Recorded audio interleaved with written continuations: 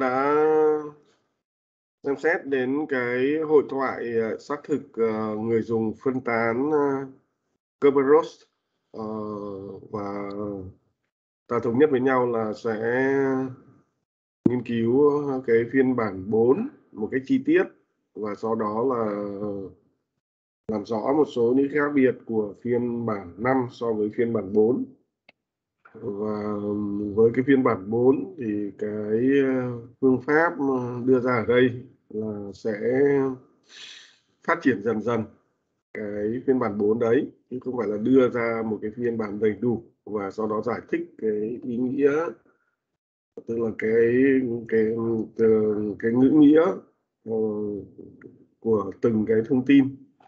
Đấy bởi vì là nếu mà ta Ờ, tiến hành theo cái cách thức như vậy thì thì các bạn chỉ biết được là mỗi cái thông tin nó đóng cái vai trò gì, nhưng mà có thể là không hiểu được là vì sao. Vì sao đây? Tức là nếu mà thiếu những cái thông tin như vậy thì sẽ có những vấn đề gì có thể xảy ra? Đấy, thế nên là ta sẽ nghiên cứu bằng cách là bắt đầu từ một cái cái hội thoại cơ bản, tức là một cách trực quan nhất cái trực quan nhất tức là ta ta ta, ta, ta, ta hình dung về cái cách làm hợp lý ờ, hợp lý theo trực quan. Rồi ờ, và bỏ đi những cái giả thiết tức là chưa chưa xem xét kỹ lưỡng tất cả những tình huống có thể xảy ra. Đấy. rồi sau đó thì ờ, ta phát triển dần cái phiên bản cơ bản ta xem là có những vấn đề gì có những cái tấn công gì có những vấn đề gì về hiệu năng. Uh, có thể có đối với uh, cái phiên bản đơn giản và ta bổ sung những thông tin cần thiết vào để như vậy là khắc phục những vấn đề về hiệu năng rồi chống lại những cái tấn công an ninh vào cái hội thoại tấn công an ninh vào cái hội thoại. Vì cái hội thoại mục đích đặt ra ở đây là cho phép xác thực và điều khiển quyền truy cập xác thực người dùng có nghĩa là đảm bảo là những cái người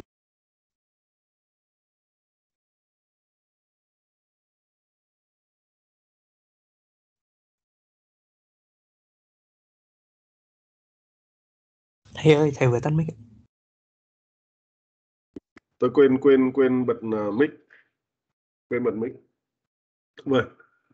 Thế thì ta nói lại nhé thì ờ, đấy thì ờ, hôm trước thì ờ, ta đã nghiên cứu đến cái hội thoại xác thực người dùng phân tán Kerberos và cái hội thoại này thì nó giải quyết được cái vấn đề đấy là trong một cái hệ thống mạng thì có nhiều những cái server dịch vụ cung cấp những cái loại hình dịch vụ khác nhau. Đấy, và nhiều người sử dụng những cái người sử dụng người ta truy cập vào những cái server dịch vụ thông qua những máy tính cá nhân những cái trạm làm việc. Đấy. và đây là một cái môi trường mở. Môi trường mở thế nên là những cái trạm làm việc những cái máy tính cá nhân là thuộc quyền kiểm soát của người sử dụng chứ không phải là là đáng tin cậy. Đáng tin cậy theo cái nghĩa là thuộc về cái sự quản lý của một cái cơ quan đáng tin cậy một cái nơi tập trung nào đấy, đấy thế nên là không thể tin tưởng vào những cái máy tính cá nhân, có nghĩa là những máy tính cá nhân gửi những cái thông tin gì đến phía những cái server thì cũng cần phải xác minh, chứ không phải đương nhiên là cứ coi những cái thông tin đấy là chính xác. Đấy. Ờ, thế thì ờ, cái vấn đề đặt ra ở đây là làm sao để chỉ những cái người dùng ờ, được phép mới có thể truy cập vào những cái server dịch vụ theo yêu cầu của họ. Đấy ngăn cản những cái hành vi truy cập trái phép. Truy cập trái phép có nghĩa là là có thể là một cái người nào đấy người ta giả mạo một cái người dùng hợp lệ. Để như vậy là có thể truy cập vào một cái server dịch vụ nào đấy giống như người dùng hợp lệ có thể truy cập. Đấy. hoặc là cũng có thể là một người dùng hợp lệ người ta yêu cầu truy cập vào một cái dịch vụ nào đấy mà người ta không được phép. Thì cũng cũng không cho phép cái điều đấy xảy ra. Đấy, thì uh, hôm trước cũng nêu lên những mục tiêu và cũng uh, nêu lên uh, một số những cái tình huống uh, những cái hình thức tấn công có thể xảy ra. Đấy và ta đã thống nhất với nhau. Tức là ta tức là về cái hội thoại người dùng xác uh, hội thoại xác thực người dùng phân tán công rốt thì uh, ta sẽ nghiên cứu là hai phiên bản. Đấy, cái phiên bản uh, từ 4 và phiên bản 5 Đấy thì uh, ta sẽ nghiên cứu chi tiết cái phiên bản 4 uh, không đi vào uh, tất cả những cái chi tiết của phiên bản 5 tại vì là phiên bản 5 thì khá là uh, phức tạp và không phải những cái chi tiết nào của phiên bản 5 cũng là những cái nguyên tắc nguyên lý cơ bản.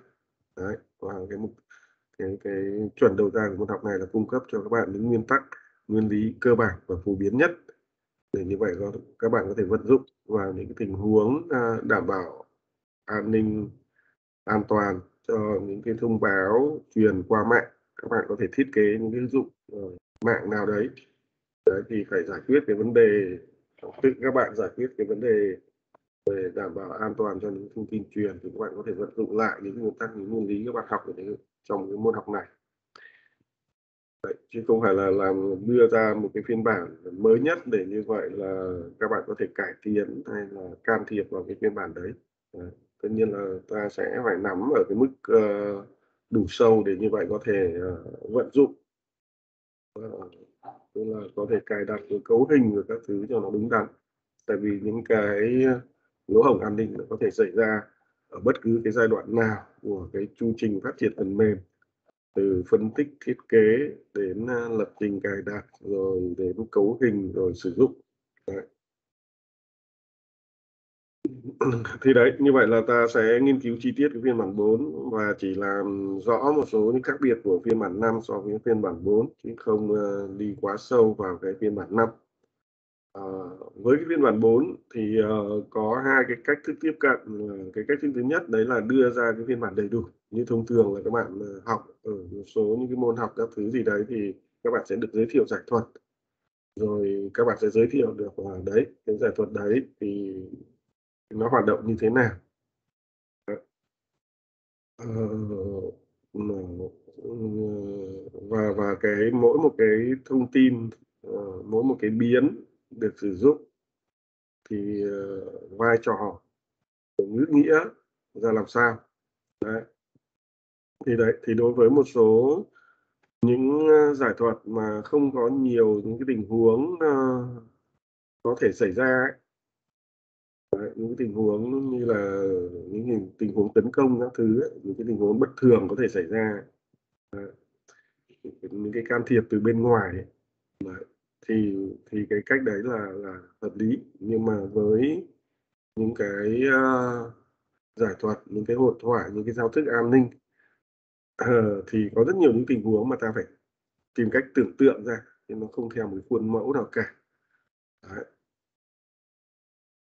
thì rất là đấy, nó rất phức tạp ở cái vấn đề như thế thế nên là là ta sẽ chọn cái cách tiếp cận là ta sẽ xây dựng dần dần cái giao thức Đấy. Từ, xây dựng dần dần tức là bây giờ là ta sẽ mường tượng ra cái giải pháp đơn giản. Đấy. bỏ qua tất cả những cái tình huống phức tạp. Đấy. rồi sau đó thì ta sẽ xem xét xem là à, có những cái tình huống phức tạp gì có thể xảy ra thì ta sẽ thêm những cái thông tin. Rồi ờ, phát triển thêm cải tiến cái cái phiên bản đơn giản để như vậy là, là có thể ờ, giải quyết được những cái tình huống mới. Ờ mới ờ, có thể xảy ra. Đấy thì hôm trước thì uh, ta đã đến cái slide 124 này đúng đúng không nhỉ? Đã đến chưa? Đến cái slide này chưa? Đến cái hội thoại uh, xác thực đơn giản này chưa? Ta lưu ý đây không phải là bản đến rồi ạ. Đến rồi đúng không? Đấy thì uh, hôm trước uh, đã giải thích với các bạn là đấy cái cách thức uh, trực quan uh, trong cái xác thực người dùng phân tán đấy là phải tổ chức một cái server tập trung làm cái nhiệm vụ chuyên trách là xác thực người dùng và điều khiển truy cập. Đó. Ờ, để để xác định cái quyền truy cập. Tại vì nếu mà ta không tổ chức một cái server tập trung như vậy thì mỗi một cái server dịch vụ đều phải thực hiện lặp đi lặp lại những công việc giống nhau. Nó gây lãng phí tài nguyên. Đấy và cái ờ, cái gây lãng phí tài nguyên của của của của tức là cùng những cái thao tác sẽ phải được cài đặt ở trên tất cả các ờ, máy server. Rồi cái cơ sở dữ liệu được lặp lại trên tất cả server. Và nó gây phức tạp về cái việc quản lý. Chẳng hạn như là có một cái thay đổi gì đấy trong cơ sở dữ liệu thêm bớt người dùng gì đấy thì ta phải lặp đi lặp lại trên uh, tất cả các uh, server dịch vụ. Đấy, thế nên cái giải pháp tối ưu ở đây là có một cái uh, server chuyên trách để làm nhiệm vụ xác thực người dùng và kiểm tra quyền truy cập đấy, rồi sau khi uh, đã xác minh mọi thứ là hợp lệ thì sẽ cấp cho người dùng một cái thẻ và người dùng đưa cái thẻ đấy cho cái server dịch vụ để server dịch vụ kiểm tra đấy. nếu mà cái thẻ đấy là hợp lệ thì có nghĩa là cái người này đã được cái server dịch vụ kiểm tra các thứ về định danh về quyền truy cập và thấy là hợp lệ nên mới được nhận cái thẻ này. Đấy và như vậy sẽ cho người sử dụng truy cập vào cái, cái server dịch vụ đấy. đấy thì cái việc kiểm tra thẻ thì nó khác với cái việc uh, xác minh uh, ban đầu về về định danh và về quyền truy cập. Đấy là cái xác minh ban đầu về quyền uh, truy cập và định danh ấy thì nó được thực hiện thông qua tra cứu cơ sở dữ liệu đấy có một cái dữ liệu thì tất cả người dùng và quyền truy cập ta phải tra cứu để ta xác minh xem là một cái người nhất định nào đấy người ta có có có có được uh, có có đúng như là khai báo hay không hay là có quyền truy cập hay không. Đấy, trong khi cái xác minh cái thẻ thì chỉ đơn giản cái việc xác minh cái thẻ nó khác là không phải là xác minh một cách trực tiếp xem là người dùng có xác thực hay không có quyền truy cập hay không mà là xác minh cái việc xác minh ở đây là xác minh này là có phải là anh đã được cái server xác thực xác minh là hợp lệ hay không Đấy. hai cái việc xác minh nó khác hẳn nhau một cái là xác minh trực tiếp về thân nhân về quyền truy cập một cái là xác minh xem là anh đã được xác minh hay chưa Đấy, nó giống như là các bạn uh, uh, uh, sử dụng chứng minh thư ấy.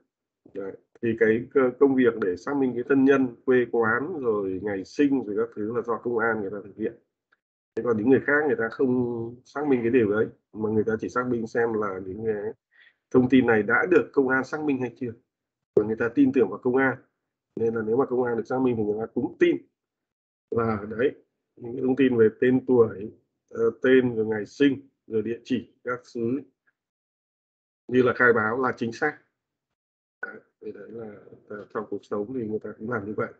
Chứ còn nếu mà với mỗi với mỗi người lại phải yêu cầu trình trình trình cái um, cái, cái giấy khai sinh rồi ờ, phải ờ, tra cứu về địa chỉ rồi các thứ cho rồi trong cơ sở dữ liệu các thứ thì nó sẽ rất mất mất rất là mất thời gian.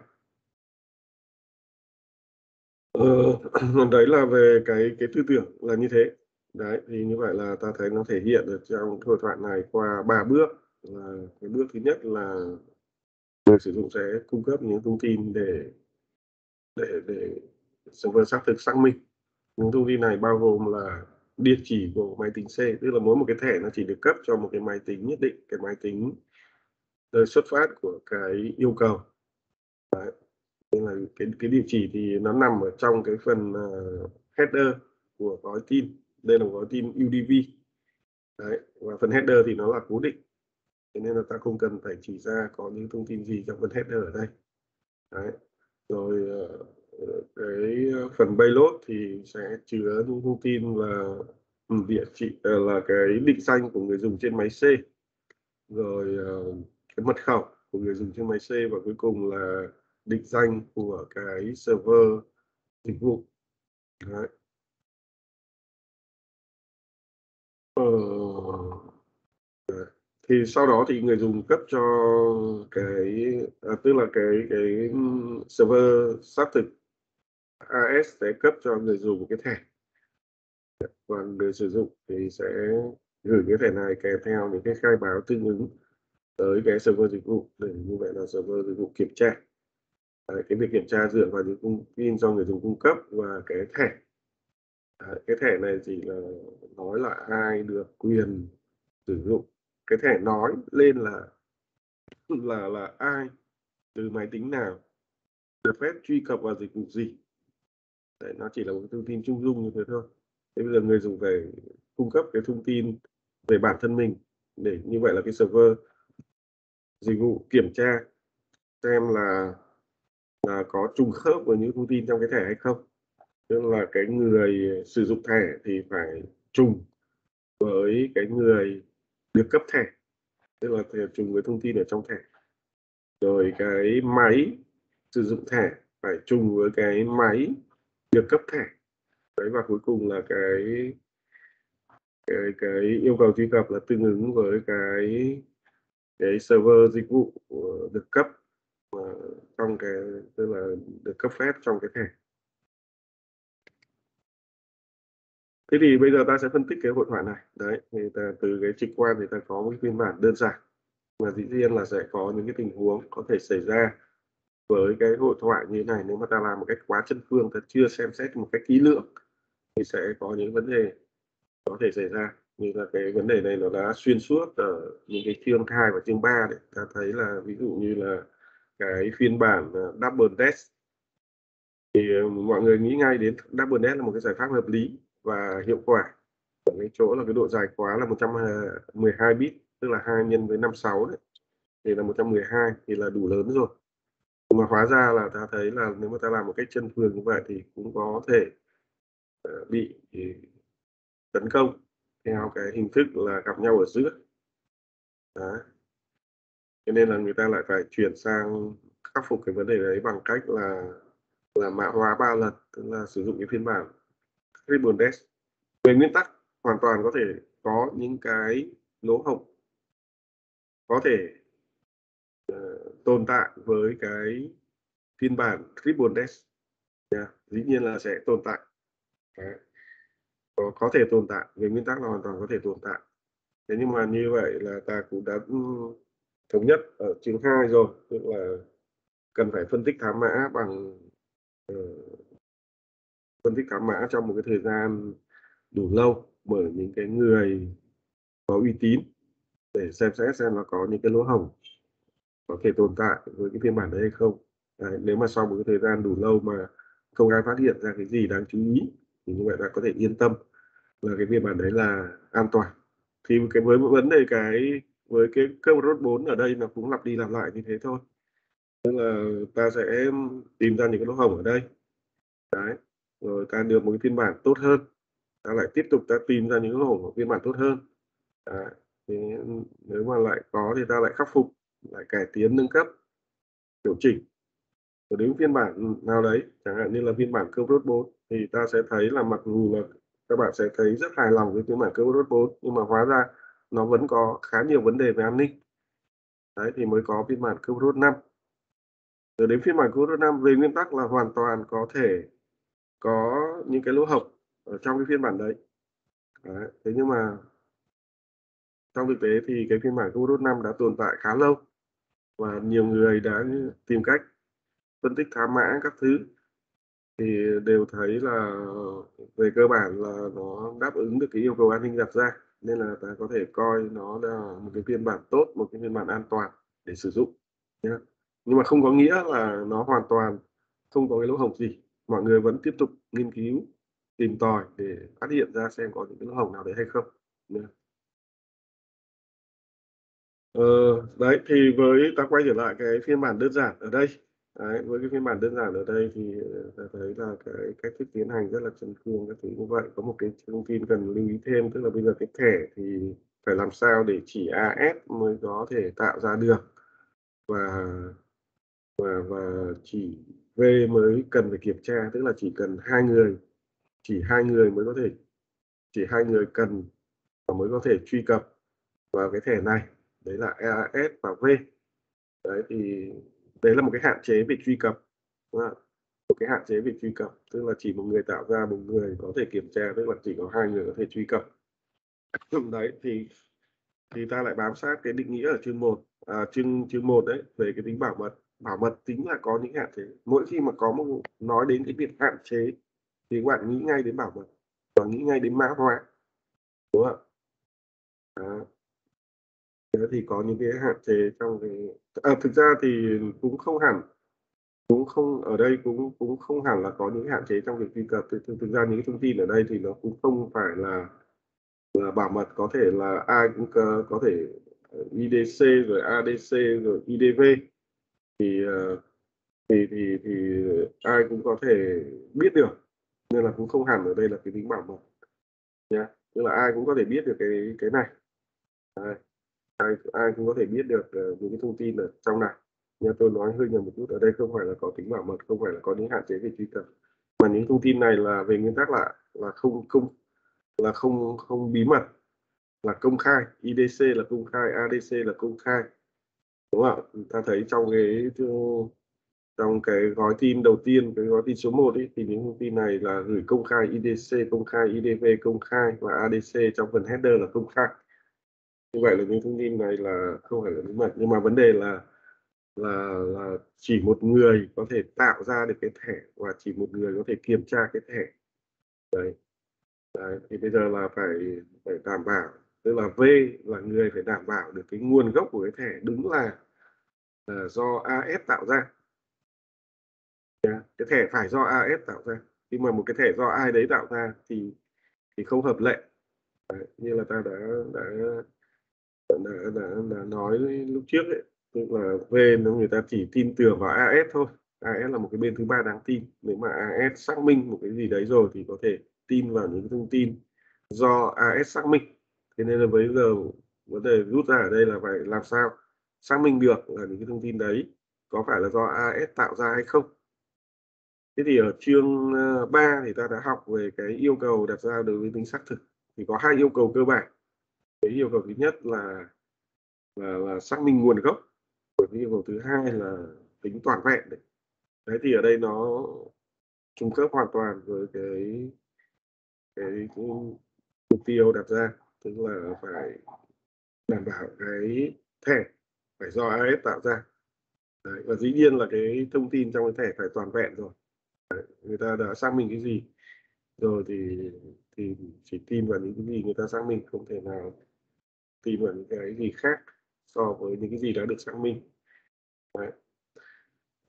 thế nên là đấy là một cái yêu cầu về xác thực nha vấn đề ở đây là yêu cầu về xác thực thì yêu cầu về xác thực thì có nhiều cái biện pháp khác nhau để có thể xác thực thông báo. Đây là xác thực thông báo thông tin chứ không phải xác thực người dùng. Đấy, xác thực thông báo. Thì để xác thực thông báo thì có ba phương pháp. Ờ, là mã hóa rồi ờ, hàm băm rồi mã xác thực thông báo.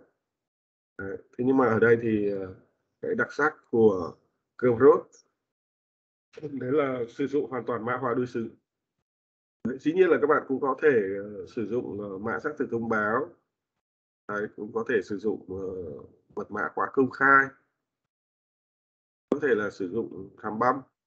Đấy, kèm theo một cái giá trị bí mật nào đấy nhé hoàn toàn có thể có thể làm khác đi như vậy. Đấy. thế nhưng mà ở đây thì đang nghiên cứu cái phiên bản tiêu chuẩn. Là như thế. Ờ, thì như vậy là tất cả những thông tin sẽ được mã hóa đối xứng và bên kia sẽ giải mã để kiểm tra thông tin Đấy. thì vấn đề là như vậy nhá thì um, uh, thì thì bây giờ ta sẽ phân tích cái uh, cái phiên bản đơn giản này Đấy. thì hôm trước đã có cái uh, phân tích về mặt uh, an ninh. Đúng chưa? Thì hình như là có ai đấy đã nói có một cái vấn đề về an ninh trong cái hội thoại này rồi đúng không? Hôm trước đã nói chưa nhỉ? Hay là mới đưa ra yêu cầu là bạn về nhà nghiên cứu nhỉ? Chưa nói thầy ạ. À chưa đấy đấy thế thì các bạn ờ, được yêu cầu về nhà nghiên cứu đúng không? Thế còn tất cả những cái chi tiết của cái phiên bản đơn giản này thì đã được giải thích ngày hôm trước rồi đúng không? Đã được giải thích hôm trước chưa? Dạ ấy rồi có rồi. Thầy bảo về nghiên cứu xem. À đấy đấy. Đấy thì bây giờ là cái hội thoại này thì có hai cái vấn đề. Vấn đề thứ nhất là về an ninh tức là có những tấn công có thể làm cái hội thoại này không đáp ứng được cái mục tiêu đặt ra. Cái mục tiêu đặt ra của hội thoại là gì? Là chỉ cho phép những cái người dùng hợp lệ và được phép truy cập vào những cái server dịch vụ theo yêu cầu. Đấy, tránh truy cập trái phép. Đấy, chẳng hạn như là một cái người nào đấy như là địch thủ thì đương nhiên người ta không được phép truy cập vào một cái server server dịch vụ V. Thì người ta tìm cách lừa AS hay là lừa V để cuối cùng là những cái server này sẽ làm thế nào đấy lại cho phép cái kẻ địch thủ đấy truy cập vào cái server dịch vụ V Đấy, nếu mà các bạn đưa ra một cái tình huống như vậy thì như vậy là cái hội thoại này là không đáp ứng được cái mục tiêu đặt ra và nó không có cái giá trị sử dụng hay còn nói là mất an toàn. Đấy, thì cái cách chứng minh như này thì ta cũng đã xem xét ở cái phần à, về hàm băm đấy đúng không? À, có một cái giả thiết gì đấy và từ cái giả thiết đấy thì ta phải chỉ ra là một cái hội thoại nào đấy không đáp ứng được cái mục tiêu đặt ra về chắc thực thù thông báo đúng không ờ, đấy thế về về hiệu năng thì ta sẽ xem xét sau. Ờ, đấy, thì bây giờ ta chỉ tập trung vào vấn đề về an ninh thôi. Đấy thì bây giờ là cái chứng minh thì có thể là hơi phức tạp với các bạn. Mặc dù nó cũng đơn giản thôi tại vì ta đã làm một lần với cái chương 3 về về hàm băm rồi. Về hàm băm và dẫn đến cái tình huống là địch thủ có thể giả mạo. Trong cái mô hình uh, sử dụng hàm băm kết hợp với giá trị bí mật hay là có thể thay đổi thông báo trong cái mô hình uh, sử dụng uh, hàm băm kết hợp với mã hóa đối xứng đấy. Đấy thì ở đây nó cũng có thể dẫn tới những cái tình huống tương tự như vậy. Thì uh, có một cái cách có thể đơn giản hơn ở đây tức là các bạn nhìn vào cái hội thoại này và theo cái kiến thức chung của các bạn theo những cái nguyên tắc về an toàn thông tin Đấy, thì an toàn thông tin thì có rất nhiều những nguyên tắc Đấy. chẳng hạn như một số nguyên tắc như là quyền tối thiểu phòng thủ theo nhiều lớp rồi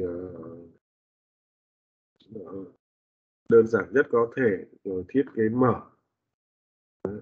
rất rất nhiều nha yeah thì ờ, người ta yêu cầu là khi mà các bạn phát triển những giải pháp an ninh thì phải tuân theo những nguyên tắc đấy. Tại vì nếu mà các bạn không tuân theo những nguyên tắc như vậy thì nhiều khả năng sẽ dẫn tới là cái giải pháp của bạn là không an toàn. Đấy, thế bây giờ xem là ở đây có một nguyên tắc gì đấy bị vi phạm và nhiều khả năng nó sẽ dẫn tới là cái hội thoại này là không an toàn. Dĩ nhiên là có thể thôi nhé chứ không phải là chắc chắn. Đấy, nhưng mà đấy là một cái manh mối để các bạn Ờ, suy luận. Ờ, thì ở đây các bạn xem xét là có cái nguyên tắc gì bị vi phạm ở đây nhỉ? Đấy có một cái gì đấy trái với thông thường thông thường thì các bạn được yêu cầu làm cái gì đấy và ở đây lại người ta lại lại không ờ, làm đúng như vậy. Đấy, theo kiến thức chung thôi. Đấy bạn nào trả lời nhanh nhất sẽ được điểm thưởng nhá. Chỉ cần nói là có một cái gì đấy nó bất thường nó trái với nguyên tắc chung về an toàn thông tin ở đây Đấy, thì bạn uh, Vũ Mạnh Dũng đã trả lời đúng nhé. Vũ Mạnh Dũng. Vũ Mạnh Dũng là đang có 3 dấu cộng, thêm một dấu cộng là 4 dấu cộng nhé.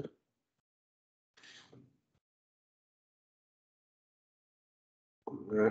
Thì uh, các bạn thấy là rõ ràng cái nguyên tắc là mật khẩu thì phải giữ bí mật, không được công khai cho bất cứ ai biết. Đúng không? Đấy là một nguyên tắc rất là sơ đẳng.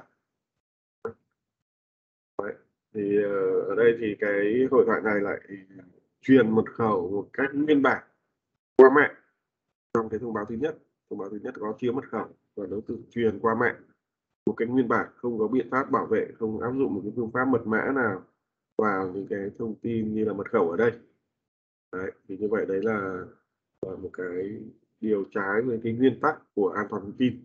Dĩ nhiên là nó trái nhưng mà chưa chắc là dẫn tới cái hội thoại này nó an toàn nhưng mà đấy là một, một manh mối. Đấy, và ta thấy đấy là một cái vi phạm rất là nghiêm trọng nhiều khả năng nó sẽ dẫn tới là cái hội thoại này sẽ không an toàn. Tức là như vậy là lợi dụng cái việc là địch thủ biết được cái mật khẩu này thì địch thủ có thể giả mạo rồi ờ, có thể truy cập vào cái server dịch vụ V một cách trái phép. Giống như lúc trước ta nói là một cái điều kiện gì đấy ví dụ một cái điều kiện về tính một chiều không được thỏa mãn thì như vậy là địch thủ có thể biết được. Ta có một cái giả thiết là địch thủ biết được cái ờ, có thể biết được cái thông báo nguyên bản từ một cái giá trị băm cho chiếc đấy, thì ở đây thì địch thủ biết được cái mật khẩu của cái người sử dụng trên máy C. Người ta gọi là mật khẩu của người sử dụng trên máy C chứ người ta không gọi là mật khẩu C nữa. C là một cái máy, một cái trạm làm việc và tại mỗi thời điểm thì trên máy tính đấy có một cái người sử dụng ở những thời điểm khác nhau thì có thể có những người sử dụng khác nhau. À, cho nên là ta không nói đến cái điểm mật khẩu của máy tính C tại vì có thể có nhiều người cùng sử dụng cái máy tính C. Nhưng mà không bao giờ có hai chuyện là hai người khác nhau uh, cùng sử dụng máy tính C tại mỗi thời điểm. Nên là ta viết là IDC theo cái nghĩa là đây là cái định danh của cái người dùng hiện thời trên máy tính C đang sử dụng máy tính C. Đấy đấy thì bây giờ là các bạn nhiệm vụ của các bạn là phải uh, từ cái giả thiết là địch thủ biết được cái mật khẩu C này Đấy, tức là rõ ràng thực ra cũng không hẳn là giả thiết mà là theo cái hội thoại thì ta thấy được là địch thủ có thể biết được cái cái cái mật khẩu của người dùng trên máy C. Thì bây giờ các bạn thấy chứng minh là địch thủ có thể truy cập vào cái server dịch vụ V một cách trái phép. Tức là khi mà AS rồi V rồi các cái kiểm tra thì thấy những cái yêu cầu đưa ra bởi địch thủ đều là hợp lệ. Và như vậy là cho phép địch thủ truy cập vào server dịch vụ V. Đấy, thì ai có thể bật mic lên nói được không ạ? Làm thế nào để địch thủ sau khi biết được cái mật khẩu BC có thể truy cập được vào cái server dịch vụ V trên cơ sở là cung cấp những thông tin mà server dịch vụ V kiểm tra thấy là là hợp lệ thì như vậy là sẽ cho phép vào thôi. Cho phép truy cập thôi. Bạn nào bật mic lên nói. Alo ờ ờ nói đi. Vâng em, em thấy là khi mà mình có cái mật khẩu của C rồi thì cái địch thủ có thể truy cập vào được cái máy tính của C. Và khi đấy thì có thể không không cần truy cập vào máy tính của C. Tại vì máy tính của C người ta đang sử dụng đẩy người ta ra người ta sẽ đánh lại ngay. Người ta sẽ không cho. Người ta hét toáng lên là có kẻ tấn công. Và như vậy là kẻ tấn công này sẽ bị bắt ngay. Nhé nên là không cần thiết phải ngồi vào cái máy tính của người dùng vào máy tính C. Máy tính C đang có người sử dụng rồi. Nhé à, thì em nghĩ là vì những cái thông tin khác như là ID của C và ID của B thì nó là công khai thì cái mình có cả cái password nữa rồi thì mình hoàn toàn có thể tạo ra những cái thông tin đấy để gửi đến uh, cái IS đúng rồi rất chính xác. Tức là một cái người kẻ địch thủ người ta phải sử dụng máy tính của mình và người ta gửi lại những thông tin như thấy trong thông báo số 1 đến AS nhưng mà cái thông báo mà do địch thủ gửi đến AS thì nó khác với cái thông báo số 1 mà các bạn nhìn thấy ở đây do người dùng hợp lệ gửi nó có một cái thông tin ẩn ở cái trường ADC đấy. Thì ADC trong cái thông báo số 1 ở đây thì là ADC của cái máy tính C hợp lệ, của người dùng hợp lệ. Trong khi là cái ADC ừ, do địch thủ gửi thì nó phản ánh cái địa chỉ ờ, của cái máy tính của cái kẻ tấn công, tức là địch thủ. Đấy. hai cái thông báo nó khác nhau đấy nhé rồi đấy thì như vậy là địch thủ gửi một cái thông báo tương tự như thông báo số 1 đến ờ, AS sau đó làm gì nữa? Ừ, sau đó thì uh... AS làm sao? uh, IS uh, sẽ cấp sẽ thực ra thì thấy mọi thứ đều hợp lệ. IDC với BC là trùng khớp với nhau rồi IDV thì dĩ nhiên là là, là nằm trong danh sách những cái uh, dịch vụ IDC được phép truy cập đúng không? Vâng, thì nó sẽ cấp cho C cái ờ, ticket. Đấy, cái ticket và cái ticket này thì các bạn lưu ý là nó cũng khác với cái ticket uh, mà HS cấp cho cái người dùng hợp lệ nha cái ticket uh, mà mà mà AS cấp cho người dùng hợp lệ thì có cái trường địa chỉ là ADC uh, của cái máy tính C. Trong khi cái ticket mà AS cấp cho địch thủ thì chứa ADC tương ứng với cái địa chỉ của máy tính của địch thủ. Rồi đấy tiếp tục đi. Ờ, thì sau đấy khi mà C gửi cho V đến thì sẽ có cái địch thủ sẽ gửi cái tích đấy. IDC và tích vâng. Đến máy đến server V. Nhá.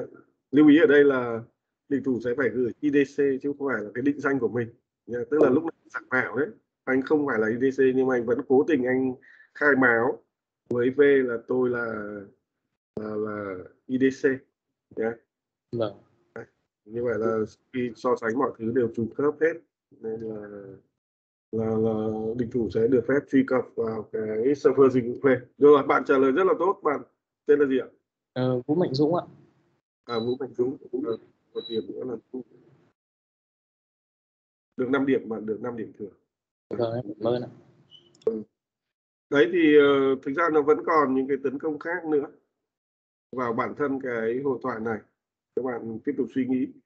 Và ta nghỉ giải lao một chút ờ, khoảng 10 phút nhé rồi ta sẽ quay trở lại cái tiếp tục nghiên cứu về cái cái, cái phiên bản đơn giản tìm cách cải tiến cái phiên bản đơn giản này.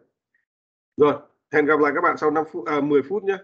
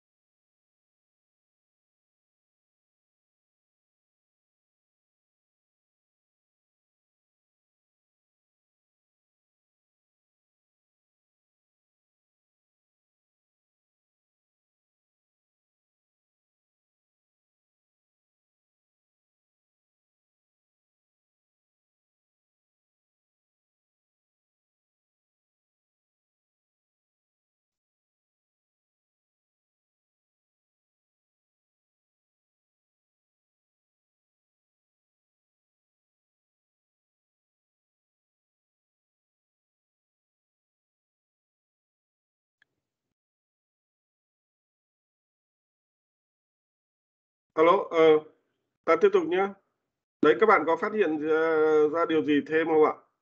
Có hình thức tấn công nào có thể xảy ra nữa không ạ?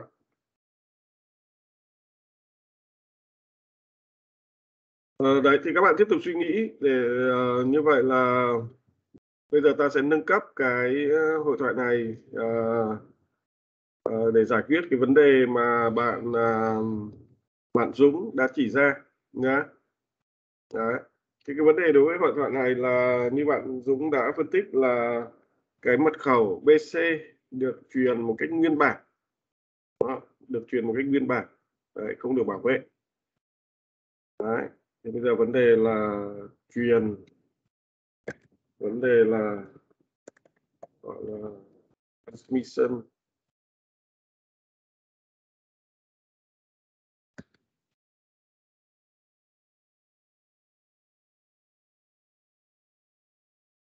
Đấy, cái vấn đề là transmission of the plain text password tức là truyền mật khẩu nguyên bản đấy. thì đấy là vấn đề nếu mà ta ta thực hiện uh, thì việc truyền mật khẩu cái nguyên bản thì sẽ không an toàn đấy. thế bây giờ sẽ không được truyền đấy. tức là bây giờ là phải phủ định của cái việc là truyền một khẩu một cách nguyên bản uh.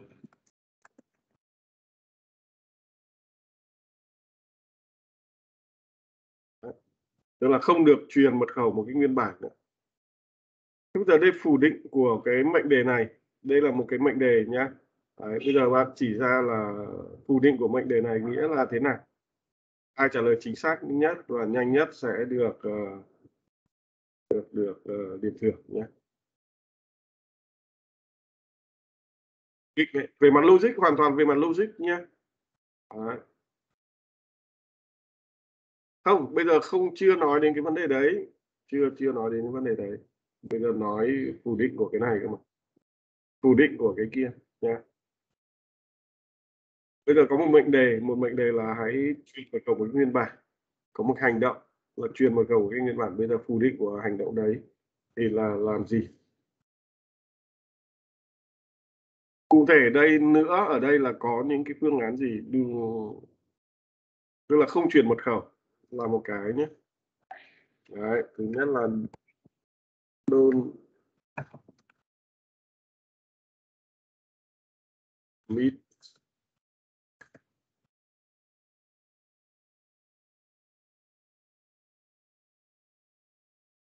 à, không chuyển mật khẩu. Đấy, không chuyển mật khẩu có nghĩa là đấy tức là thì không quan trọng là nó là là nguyên bản hay là không đúng không? Không chuyển mật khẩu nữa và cái gì nữa? Phủ định của đấy thì có hai ý. Ý thứ nhất là không truyền mật khẩu. Và ý thứ hai nữa.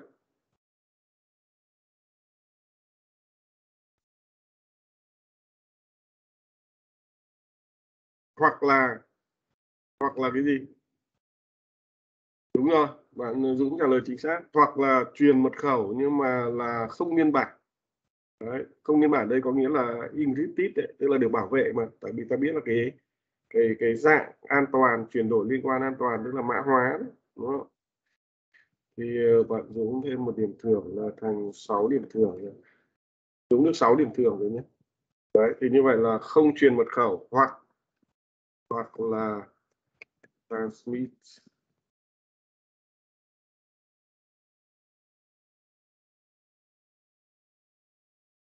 chữ nó hơi nhỏ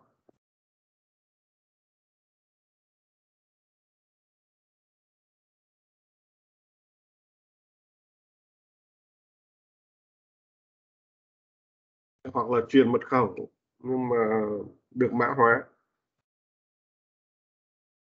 Đấy thì có hai giải pháp như vậy nhá. Tiếp giờ ta thử thảo luận cái giải pháp thứ hai. Cái giải pháp thứ hai thì là truyền mật khẩu được mã hóa.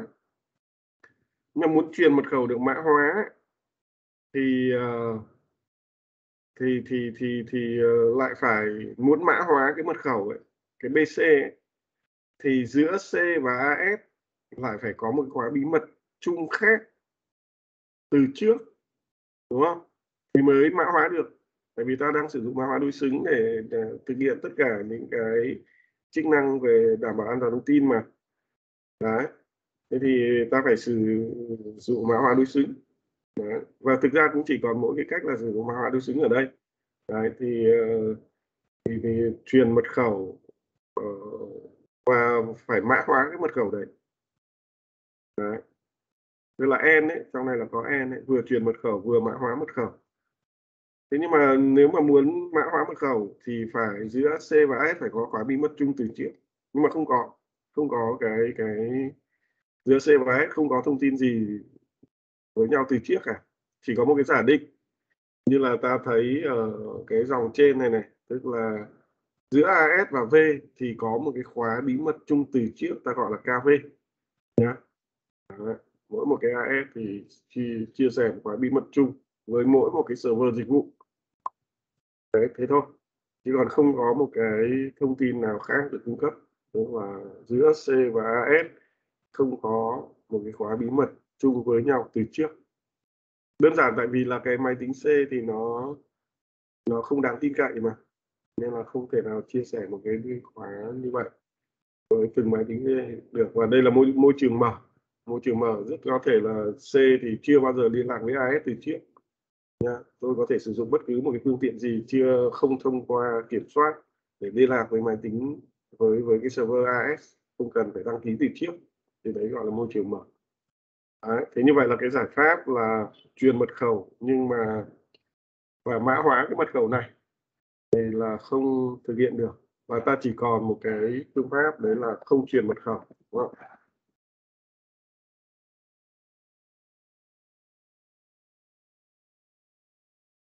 Không truyền mật khẩu. Còn mỗi một cái giải pháp là không truyền mật khẩu. Đấy.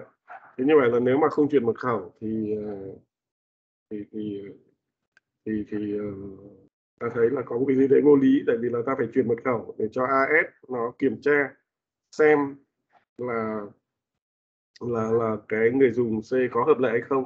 Và nếu mà người dùng C hợp lệ thì mới cấp cái thẻ cho người sử dụng C.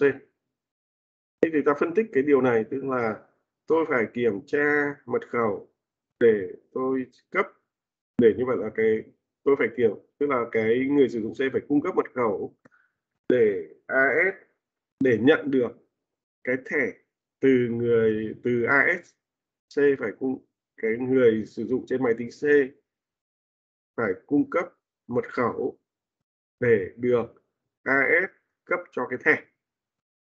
Đấy, thế như vậy là ta thấy là cái mục tiêu cuối cùng ở đây ấy thì không phải là cứ là, là cái cái tức là ta thấy là cái điều kiện đặt ra là cấp mật khẩu không phải là điều kiện tiên quyết đúng không ạ? Mà ta thấy cái mục tiêu cuối cùng của việc uh, cung cấp mật khẩu cho AS gửi mật khẩu cho AS đấy là là để được cấp cái thẻ. Đúng không ạ? Hay nói cách khác là cái thẻ này ấy, thì chỉ được AS cấp cho người sử dụng C nào hợp lệ trên máy tính C thôi cho cái người IDC hợp lệ thôi đó. Đấy, cái, tức là cái việc cái việc ờ, uh, IDC cấp uh, gửi cái mật khẩu BC cho AS là để được AS cấp cho cái thẻ để được truy cập vào cái thẻ của AS chứ thực ra thì cái BC ở đây thì không uh, trong cái thẻ này này à, không không ờ, tức là trong trong trong cái thẻ thì không có BC nha. Nên là không không cần sử dụng để đến đến BC ở ờ, tức là ờ, trong cái thẻ không có BC đấy thì uh, thì thì uh, cái uh, server uh, xác thực uh, uh, tức là bây giờ là cái cái việc truyền cái mật khẩu là cái điều kiện tức là chỉ là một cái bước trung gian để C nhận được cái thẻ từ AS Đấy. Hay nói cách khác là để truy cập được vào cái thẻ, để được lấy được cái thẻ. Chứ không phải là truy cập vào những cái thông tin trong cái thẻ nhé mà để lấy được cái thẻ nhé để có được cái thẻ. Đấy. Thế thì ta thấy là cái này là cái, chính là một cái vấn đề về hạn chế truy cập. Tức là cái thẻ thì chỉ AS à chỉ C mới có thể lấy được thôi tất nhiên là ngoài AS nữa thì còn có C nữa thì mới có thể truy cập được truy cập theo cái nghĩa là lấy được cái thẻ chứ không phải là truy cập vào những thông tin IDC, ADC, IDV ở trong cái thẻ nha. Đấy. tức là có cái hạn chế trong việc truy cập vào cái thẻ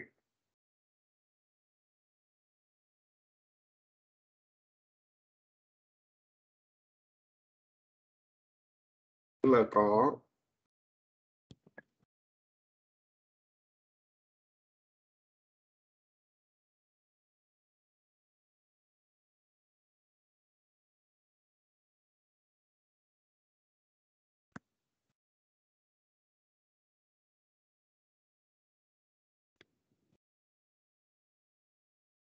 nó nhỏ quá thì nhìn không rõ.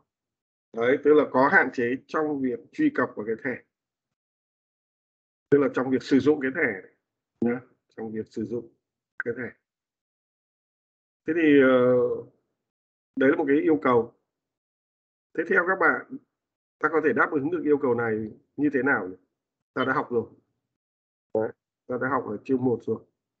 Bạn nào trả lời nhanh nhất sẽ được được thưởng nhá tức là bây giờ là có một yêu cầu là phải có hạn chế trong việc sử dụng cái thẻ và chỉ có hai người có thể sử dụng cái thẻ này. Thứ nhất là AS là người tạo ra thẻ và cái thứ hai là cái người sử dụng IDC ở trên máy tính C mới có thể sử dụng được cái thẻ này. Đấy. thì ta có thể đáp ứng được yêu cầu này như thế nào?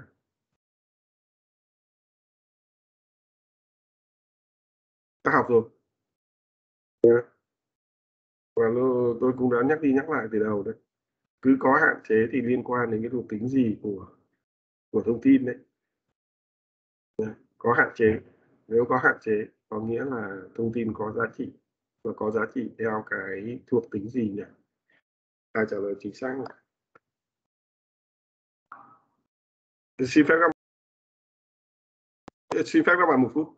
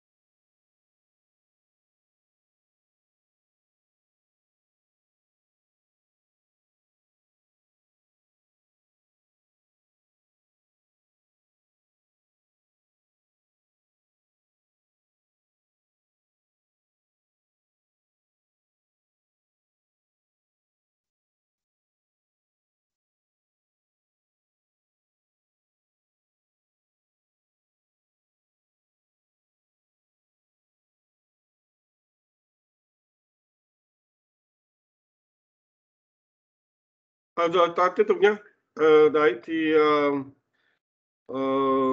đấy bây giờ cái vấn đề là ở đây có một cái hạn chế trong việc sử dụng cái thẻ nhá. Chỉ có hai người được phép uh, truy cập hay là sử dụng cái thẻ đấy là AS và uh, cái người sử dụng trên máy tính C và cái người có định danh là IDC đấy thế bây giờ để đáp ứng được yêu cầu này thì có một cái phương pháp mật mã học đấy là phương pháp gì? Ai trả lời nhanh nhất sẽ được điểm thưởng. Hay là cái này nó liên quan đến thuộc tính nào đấy? Cái yêu cầu đấy liên quan đến thuộc tính nào cần phải có đối với cái thẻ? Đúng rồi, bạn Nguyễn Quốc Khánh trả lời chính xác là tính bảo mật. Chính là tính bảo mật. Ngay đầu buổi học đã nhắc đi nhắc lại là cái tính bảo mật tương đương với có hạn chế. Cứ có hạn chế thì là có tính bảo mật, còn nếu mà không có hạn chế là không có tính bảo mật. Nhé cứ nói đến cái có những hạn chế trong việc sử dụng, trong việc truy cập thì càng nghĩ ngay đến cái tính bảo mật. Nguyễn Quốc Khánh. Nguyễn Quốc Khánh thì có một điểm thưởng bây giờ là thành hai điểm thưởng. Đấy. Đấy. Thế thì chính vì có cái tính bảo mật à, đấy nên là ta nghĩ ngay đến mã hóa đối xứng đúng không ạ? Ta học ở chương 2 ta biết là cái tính bảo mật của thông báo nó đi liền với mã hóa đối xứng. Đấy, đấy, đấy là phương pháp tiêu chuẩn để đảm bảo tính bảo mật. Đấy có nghĩa là bây giờ ta sẽ phải mã hóa cái thẻ. Đấy mã hóa cái thẻ bằng cái khóa gì nhỉ? Bằng cái khóa bằng cái bằng cái gì? À, bây giờ ai trả lời được là mã hóa bằng cái thẻ bằng cái gì? Gì?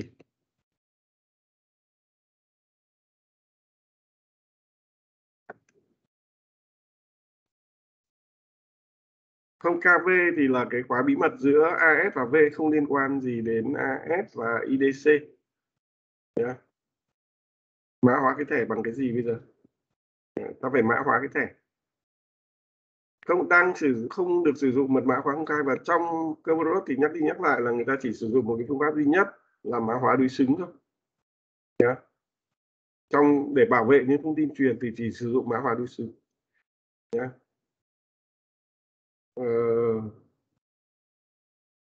chưa chưa chính xác lắm. Ờ, Nguyễn Ngọc Tú trả lời là bằng hash thì Ờ, mã hóa cái thẻ bằng ờ, bằng cái gì ở đây? Ờ. Đúng rồi, bạn Kiều Văn Tuyên trả lời thì sẽ chính xác hơn. Tại vì cái hash ở đây nó chỉ là phương pháp thôi. Còn bằng ở đây tức là bằng một cái thông tin gì đấy, nhá. Để mã hóa mình, bản thân nó đã là một phương pháp rồi, nhá. Nên là phải sử dụng một cái thông tin gì đấy để để mã hóa, chứ không phải là mã hóa ừ, kết hợp với hàm băm như là bạn tú trả lời đấy, bạn Kiều Văn Tuyên trả lời sẽ chính xác hơn nha. Là Kiều Văn Tuyên này, Kiều Văn Tuyên thì ờ, đang được ờ, 5 điểm ờ, thưởng bây giờ 6 điểm thưởng. Đấy, thì ta sẽ sử dụng cái cái mật khẩu của người sử dụng để để để để để để mã hóa cái thẻ. Tại vì ở đây là cái thẻ phải đảm bảo là chỉ có hai người có thể biết được, có thể truy cập được. Là cái thứ nhất là AS và cái thứ hai là IDC thì như vậy ta sử dụng cái mật khẩu của người sử dụng là BC thì cái mật khẩu này là cái thông tin mà chỉ hai người biết và chia sẻ với nhau đấy là AS và C và IDC đúng không ạ? Đấy nhưng mà thế nhưng mà vấn đề là cái cái cái cái mật khẩu ấy thì nó có thể có độ dài tùy ý đúng không cái mật khẩu thì có thể có độ dài tùy ý đúng không ờ, trong khi cái khóa dùng để mã hóa đối xứng ấy, thì lại là một thông báo ngắn có độ dài cố định. Thế làm sao để biến một cái mật khẩu thành một cái khóa tức là thành một thông báo ngắn có độ dài cố định thì ta đã sử dụng ta học cái phương pháp gì mật mã học gì cho phép uh, biến đổi một cái thông báo có độ dài tùy ý tức là mật khẩu sang một cái thông báo ngắn có độ dài cố định đấy là khóa nhỉ? Đúng rồi bạn Lê Bằng Giang trả lời chính xác là hàm băng. Yeah các bạn thấy là đấy, tất cả những, đều là những kiến thức cơ bản, nhưng mà vấn đề là phải áp dụng như thế nào thôi, nhé. Lê Bằng Giang. Lê Bằng Giang thì ờ, đang được 7 điểm, bây giờ là được ờ, thêm một điểm là 8 điểm, và Lê Bằng Giang sẽ không được phép ờ, trả lời nữa nhé. Nhường quyền trả lời cho các bạn khác chỉ trong những cái tình huống đặc biệt. Khi mà không ai đưa ra được câu trả lời thì Lê Bằng Giang mới được tham gia nhé. Đấy, thì có hiện nay là có Nguyễn Quốc An và Lê Bằng Sang đều đã được 10 điểm rồi và hết quyền trả lời nhé Đấy, thế như vậy là ta sẽ sẽ sẽ sẽ sẽ giải quyết ờ, ta viết lại hội thoại như thế này. Ờ, Thực ra viết hơi khó nhỉ. Nếu mà trên lớp thì viết nó sẽ dễ hơn. Tôi sẽ cố gắng viết xem có được. Một này. Thông báo số 1 thì C gửi cho AS này. AS. Ờ, có cái chế độ viết ở trên màn hình không nhỉ Ta phải khai thác một chút nhỉ. Chế độ là kiểu viết trên bảng ấy nhỉ. Là cái chế độ gì đấy các bạn có gợi ý được không nhỉ? Hình như có share boanh hay là cái gì đấy, đúng không? Nên nào. Tức là viết lên trên bảng ấy, thì nó sẽ cho phép định dạng các thứ gì đấy, nó sẽ tiện lợi hơn là thông qua tin nhắn. Đây, cái chế độ gì đấy nhỉ?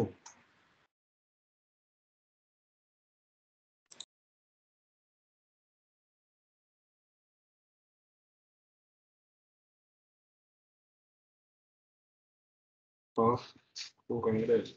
thầy thử mở cái whiteboard nhé Đâu ở đâu?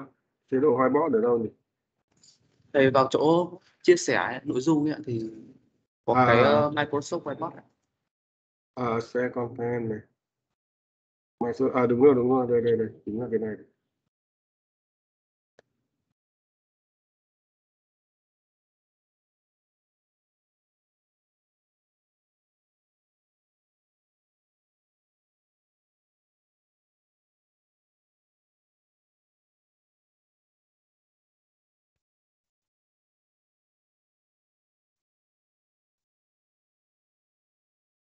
Everyone can edit. Rồi.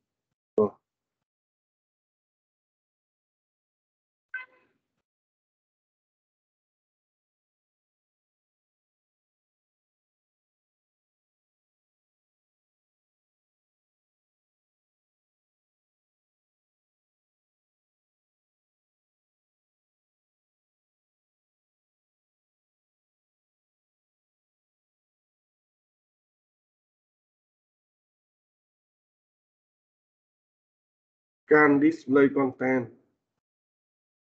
We couldn't start the presentation.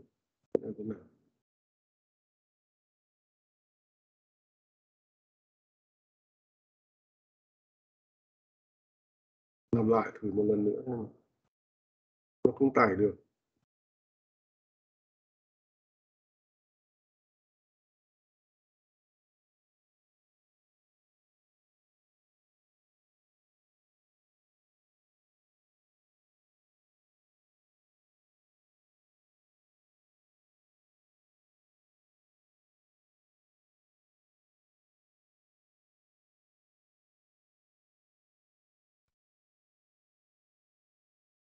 À được rồi đây.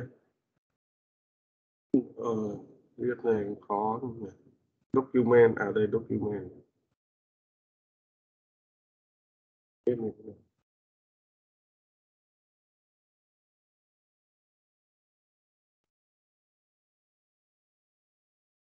Rồi, không được.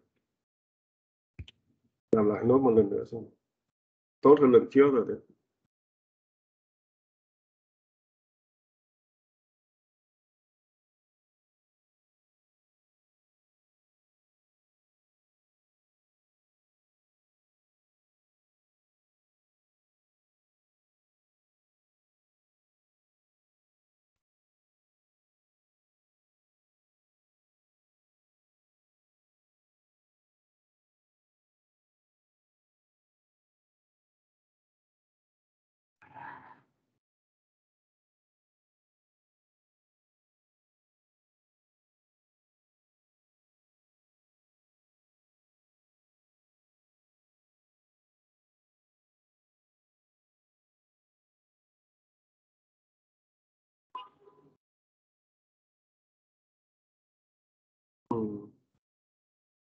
Ừ.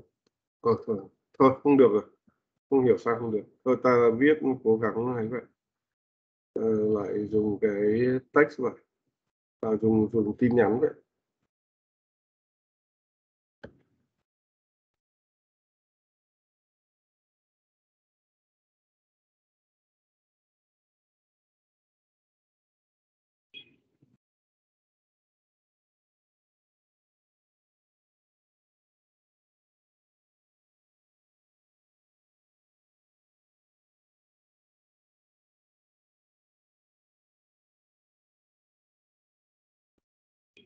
Đấy thì bây giờ ta sẽ thay đổi cái hội thoại này nhé. Bây giờ là bước thứ nhất này. Bước thứ nhất thì rất là đơn giản. Tức là C này gửi cho AS này. Đấy.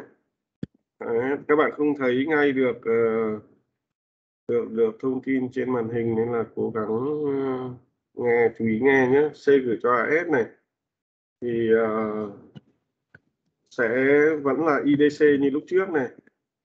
Rồi uh, bỏ đi BC đúng không ta thống nhất với nhau là không gửi mật khẩu nữa. Dù là dưới dạng mã hóa hay là dưới dạng biên bản thì cũng không nên gửi mật khẩu, đúng không cũng không không có thể gửi được mật khẩu.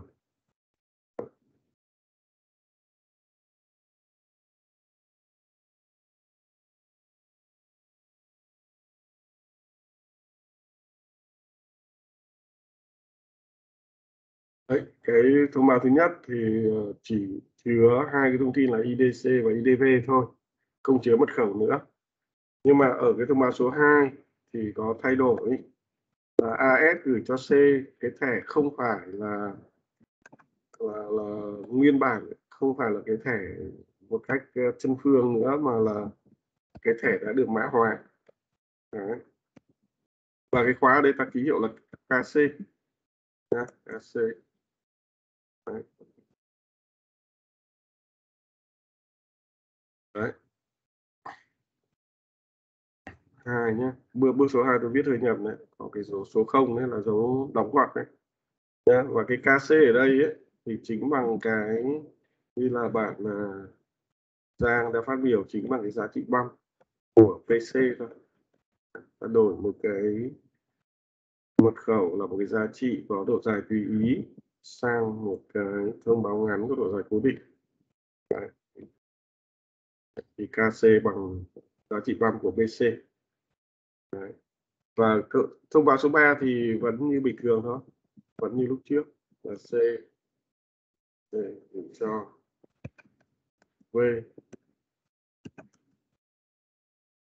IDC à cái thẻ cấu trúc cái thẻ thì vẫn như cũ không thay đổi gì cả nhé Đấy.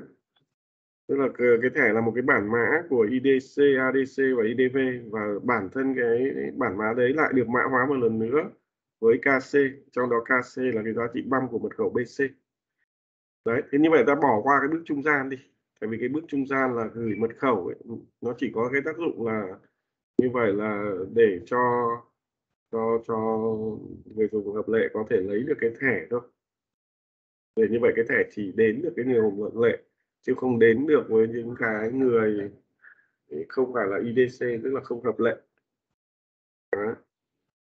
Đó. thế như vậy là một cái việc gửi mật khẩu không cần thiết và cuối cùng ta vẫn hoàn thành được cái yêu cầu đặt ra đấy là là chỉ có người dùng hợp lệ IDC thì mới có thể lấy được cái thẻ và sử dụng cái thẻ đấy để truy cập cái server dịch vụ về. Đấy thay đổi lại là như thế. Đấy. giải quyết được cái vấn đề về mật khẩu. Đấy, thế bây giờ có một vấn đề về hiệu năng ở cái hội thoại này. Nhé hội thoại này thì các bạn có thể quan sát trên ờ, cái cửa sổ chat hay là cái, trên slide vẫn là cái phiên bản cũ, tại vì hai cái thì cái cái cái vấn đề về hiệu năng nó xảy ra với cả hai phiên bản này thì vừa rồi ta chỉ khắc phục cái vấn đề về an ninh chứ chưa làm thay đổi gì về hiệu năng cả. Đấy. thì cái vấn đề hiệu năng là như thế này tức là bây giờ ta giả định là cái thẻ nhé nếu mà cái thẻ ấy, mà ta quy định là chỉ được sử dụng một lần ấy thì như vậy rất là bất tiện đúng không? Nếu mà cái thẻ mà chỉ sử dụng được một lần thì rất là bất tiện. Bất tiện ở cái chỗ là là là là cứ mỗi lần C muốn truy cập vào cái server dịch vụ V gửi một cái truy vấn gì đấy đến server dịch vụ V thì như vậy lại phải thực hiện lại bước 1 đến bước 2 đến bước 3 đấy, tức là lại phải cung cấp lại tên login mật khẩu.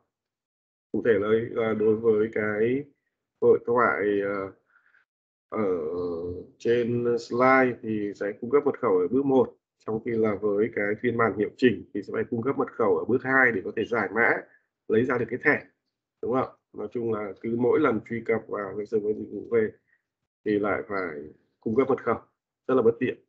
Đấy, các bạn thấy cái sự bất tiện khi mà các bạn truy cập vào một cái cái, cái hộp thư điện tử nào đấy cái dịch vụ thư điện tử trên Google hay là gì đấy thì cứ mỗi lần các bạn click vào một cái link nào đấy tức là bạn gửi một cái truy vấn đến đấy tức là click vào một cái thư hay là một cái nội dung nào đấy trên thư điện tử thì, thì các bạn lại được yêu cầu cung cấp tên login mật khẩu để có thể là nhận được cái phản hồi từ cái cái dịch vụ thư điện tử. Như vậy rất là bất tiện và rõ ràng là ta không mong muốn cái điều đấy. Ta muốn là có thể uh, cung cấp tên login của mình một lần và có thể truy cập một cái thoải mái ít nhất trong một cái khoảng thời gian nhất định nào đấy. Nhá. Yeah. tức là có thể như vậy là một cái giả định hợp lý hơn là cái thẻ có thể sử dụng được nhiều lần nhá yeah. đấy. cái thẻ có thể sử dụng được nhiều lần thì nếu mà cái thẻ mà sử dụng được nhiều lần thì như vậy là mỗi lần cái người sử dụng IDC muốn truy cập vào cái server dịch vụ V thì người ta sẽ chỉ có lần đầu tiên là phải thực hiện bước 1, bước 2 thôi tức là phải cung cấp mật khẩu Đấy. đến những cái lần sau thì vì cái thẻ có thể sử dụng được nhiều lần nên là không cần phải thực hiện bước 1 và bước 2 nữa tức là không phải cung cấp mật khẩu trong cả hai phiên bản đều mà chỉ cần thực hiện cái bước 3 gửi trực tiếp cái thẻ tại vì cái thẻ này vẫn còn sử dụng được ở những lần sau mà nên nó có thể gửi trực tiếp cái thẻ đến V mà không cần thông qua cung cấp tên login mật khẩu nhá Đó. Ờ,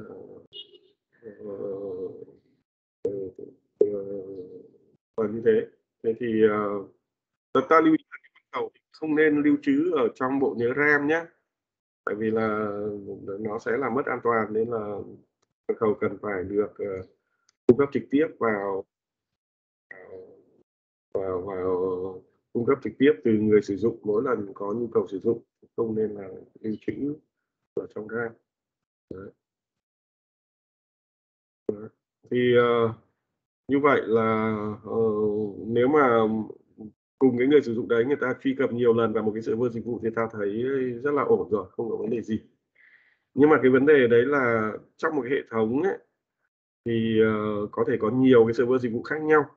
Thế bây giờ nếu mà người sử dụng người ta đang truy cập vào cái server dịch vụ V và người ta muốn truy cập vào cái server dịch vụ V phẩy Đấy, cũng thuộc hệ thống nha cũng hợp hệ thống giống như là các bạn ờ, sử dụng cái hệ sinh thái của Google các bạn đang truy cập vào dịch vụ email thì các bạn chuyển sang sử dụng dịch vụ uh, Google ờ, Meet hay là sử dụng Google Doc hay là Google Drive. Rất nhiều những cái dịch vụ khác nhau và các bạn không cần phải cung cấp lại tên login mật khẩu. Nó sẽ tự động cho các bạn truy cập vào những dịch vụ khác. À, đấy, rất là thuận tiện. Đấy. trong khi với cái mô hình ở đây thì ta thấy là khi mà người sử dụng người ta đang truy cập vào server dịch vụ V, bây giờ muốn chuyển sang sử dụng server dịch vụ V phẩy thì người ta phải xin một cái thẻ khác gọi là ticket phẩy đúng không? và muốn xin cái thẻ khác là ticket phẩy thì người ta phải thực hiện lại bước 1 và bước 2 đúng không phải mức hiện tức là lại phải cung cấp lại tên login mật khẩu. Rất là bất tiện. Đấy. Trong khi là với cái cái hệ sinh thái của Google, đấy là một cái hệ thống gồm có nhiều cái server dịch vụ khác nhau email doc drive rồi meet. Thì uh, ta chỉ cần cung cấp tên login mật khẩu một lần và mỗi lần chuyển sang sử dụng một cái dịch vụ khác thì hệ thống sẽ kiểm tra rồi chuyển tiếp như thế nào đấy. Chứ không cần uh, yêu cầu người sử dụng cung cấp lại tên login mật khẩu. Thì ta cũng muốn làm một cái điều tương tự như vậy ở đây. Đấy. nhưng mà hiện nay thì cái phiên bản này không cho phép làm như vậy. Đấy. thế để cho phép ta làm như vậy thì ta sẽ phân tích vấn đề. Ta sẽ phân tích vấn đề ở đây là là cái việc cung cấp tên login mật khẩu ấy. Thì uh, tức là khi mà ta đang sử dụng một cái server dịch vụ V nào đấy mà ta muốn chuyển sang một sử, sử dụng một cái server dịch vụ V phải thì như vậy là chỉ cần kiểm tra xem là người sử dụng có được phép truy cập vào cái server V phải hay không. Còn về thân nhân thì không cần phải kiểm tra nữa tại vì đã kiểm tra về thân nhân, tức là về cái tính xác thực của người dùng, về cái tính hợp lệ của người dùng ấy. Ở cái lần người ta truy cập vào server dịch vụ V rồi. Đấy, nhưng mà cái kiểm tra là người sử dụng được phép truy cập vào server dịch vụ V thì không còn có giá trị khi mà người sử dụng muốn truy cập vào một server dịch vụ khác là V phẩy. Với cái server V phẩy thì lại phải kiểm tra xem là người sử dụng có được phép truy cập vào server dịch vụ V phẩy hay không.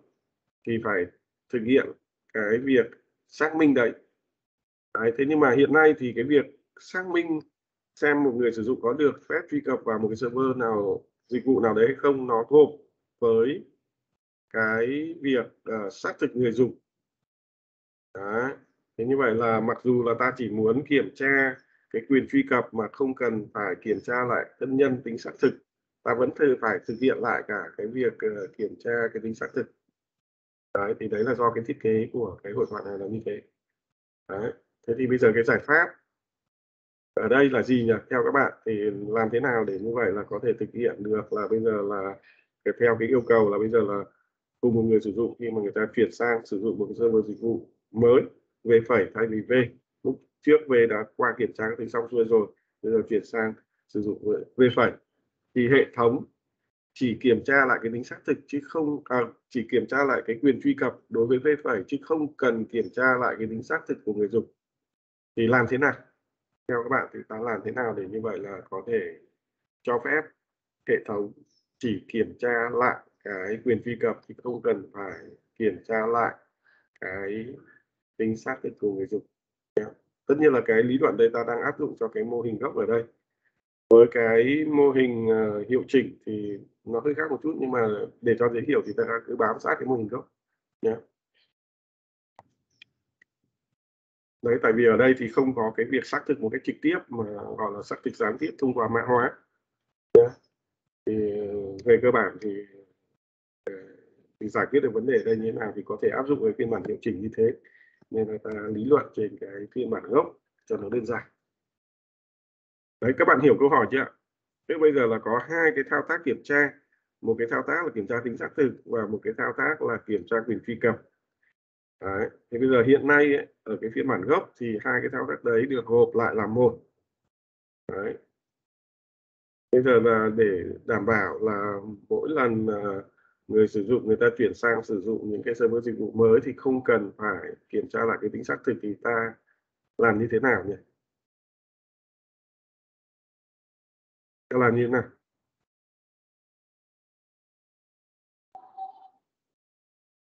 Rồi.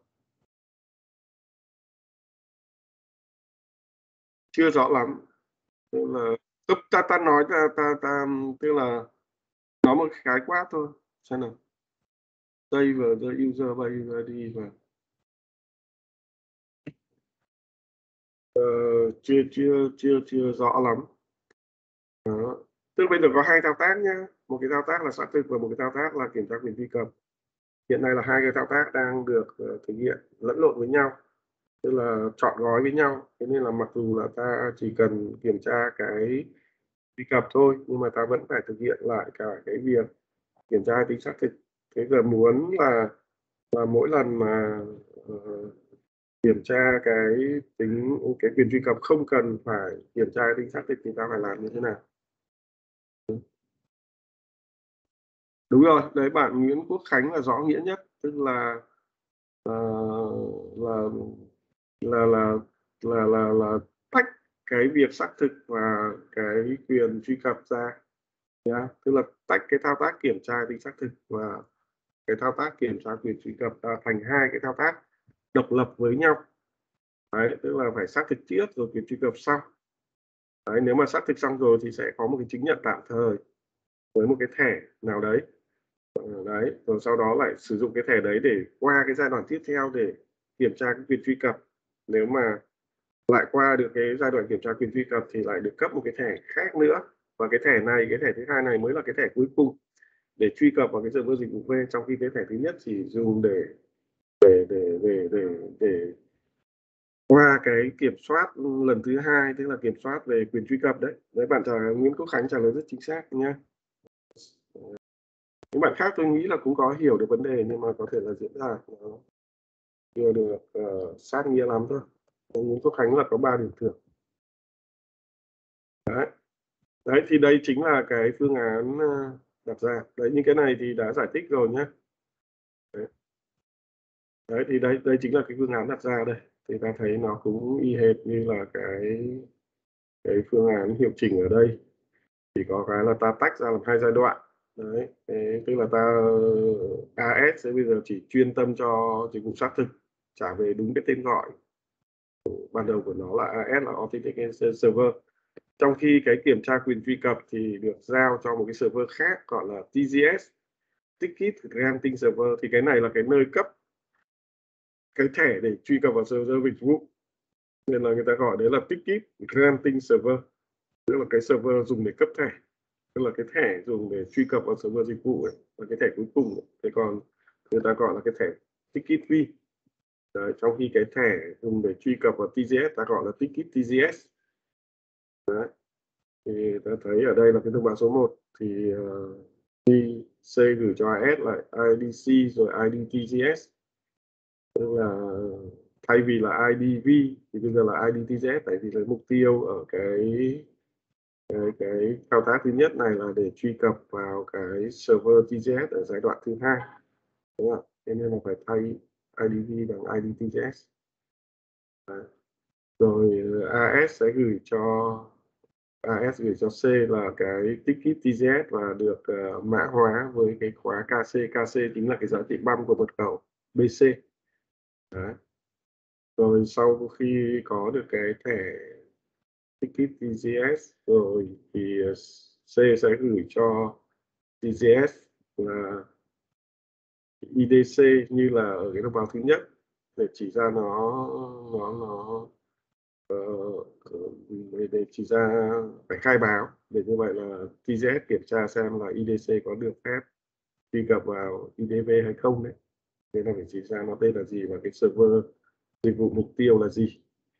Đấy và phải cung cấp cái thẻ để TGS xác minh xem là nó đã qua cái công đoạn kiểm tra cái tính xác thực tức là qua được cái bước 1 và bước 2 hay chưa. Đấy. nếu mà kiểm tra mọi thứ đều hợp lệ tức là cụ thể ở đây là kiểm tra cái gì? Kiểm tra là cái ờ, ờ, uh, IDC ở trong cái thẻ có trùng với IDC bên ngoài hay không ADC trong thẻ có trùng ADC trong header hay không rồi IDTGS có trùng với định danh của cái TGS hiện thời hay không tạm thời hai cái trường về thời gian là TS và Lifetime thì ta bỏ qua nhé. Đấy. thì đấy là, như vậy là về cơ bản sẽ được cấp một cái thẻ V. Và sử dụng cái thẻ V này để truy cập vào server dịch vụ V giống y hệt như là cái hội toán lúc trước thôi. Đấy. Thì ở đây là có cái sự phân tách. Từ là gộp hai cái thao tác kiểm tra là một, thành là hai cái thao tác được thực hiện một cách độc lập với nhau. Phải qua được cái thao tác thứ nhất là kiểm tra chính xác thực thì mới có thể tiến hành. Cái thao tác thứ hai là kiểm tra cái quyền truy cập. Thế như vậy là với cái hội thoại này, khi mà người sử dụng, người ta muốn chuyển sang sử dụng một cái server dịch vụ V phải nào đấy khác với cái server dịch vụ V hiện thời, thì người ta chỉ cần thực hiện từ bước 3 trở đi thôi. Người ta vẫn lấy cái ticket TGS uh, lúc trước để thực hiện từ cái bước 3 trở đi không cần phải thực hiện bước 1 bước 2 nữa Đấy, thì cái bước 1 và bước 2 ở đây là liên quan đến cung cấp mật khẩu Đấy.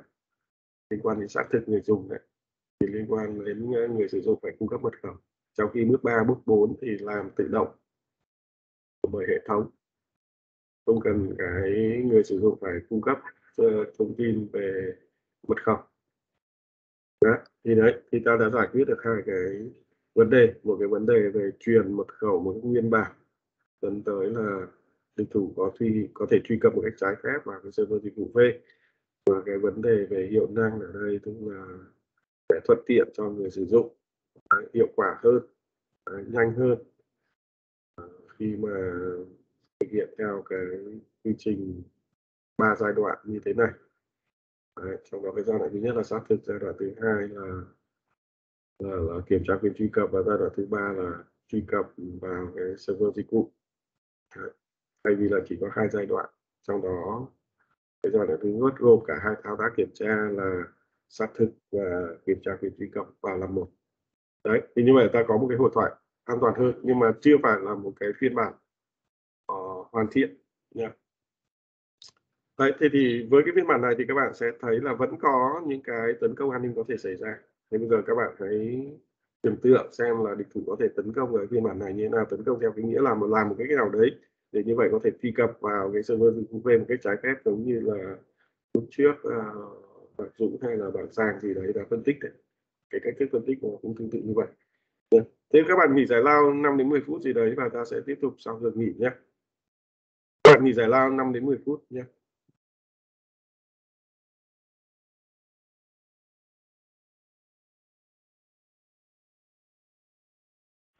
Các bạn lưu ý là trong giờ nghỉ thì tiếp tục suy nghĩ để sau giờ nghỉ ta có thể thảo luận ngay về cái ờ, tấn công có thể xảy ra với cái phiên bản hiện thời này để tiếp tục hiệu chỉnh cái phiên bản hiện thời này nhé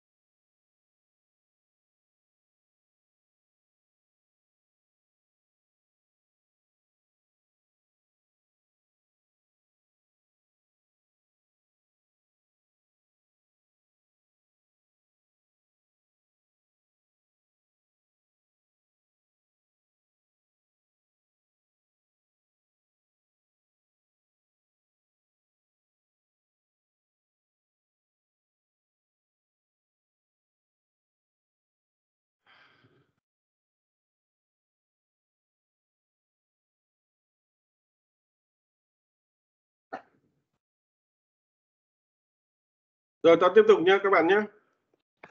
Đấy thì uh, uh, các bạn suy nghĩ xem thì uh, xem là có tưởng tượng ra được cái cách thức tấn công gì vào cái hệ thống này không nhỉ?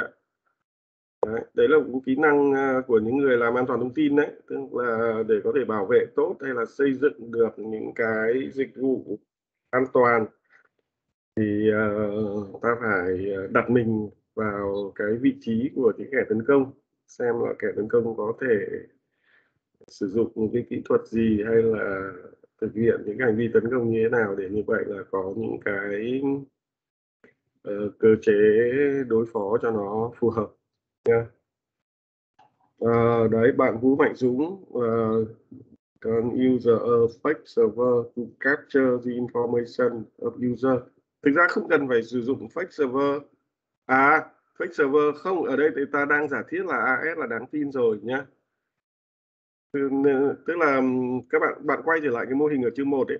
Chương 1 nói tất nhiên là trừ những cái trường hợp mà đặc biệt có nói một cách uh, cụ thể thì uh, nếu mà không nói gì thì như vậy là địch thủ chỉ tấn công được vào đường truyền thôi nhá. Địch thủ chỉ tấn công được vào đường truyền. Đấy thế nên là nó không có cái khái niệm là giả mạo server hay là can thiệp được vào server nhá.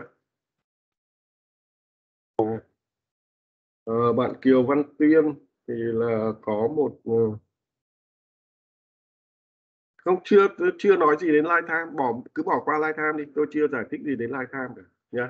Chưa chưa coi ờ, chưa chưa nói gì đến live time nhé những cái ngắn thời gian này thì tạm thời các bạn quên đi nhá. Chưa chưa chưa nói gì đến cả.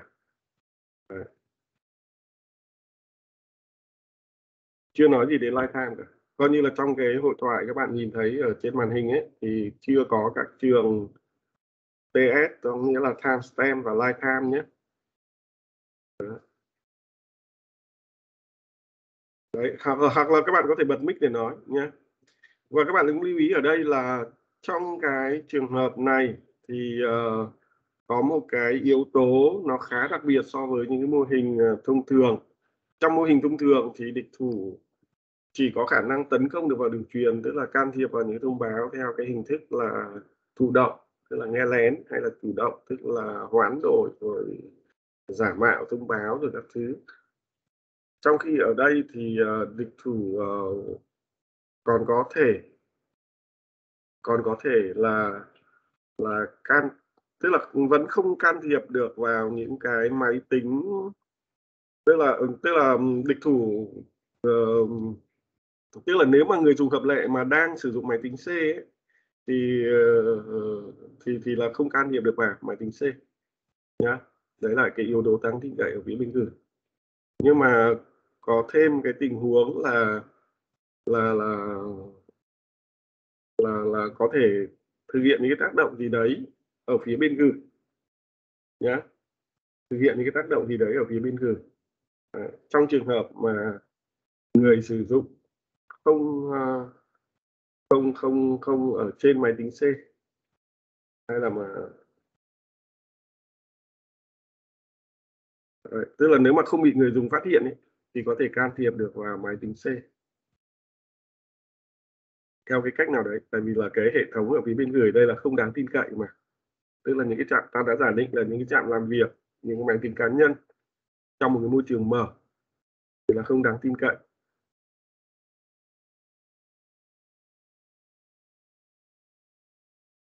Đấy thì có ai suy nghĩ ra được cái gì thêm không ạ? Rồi.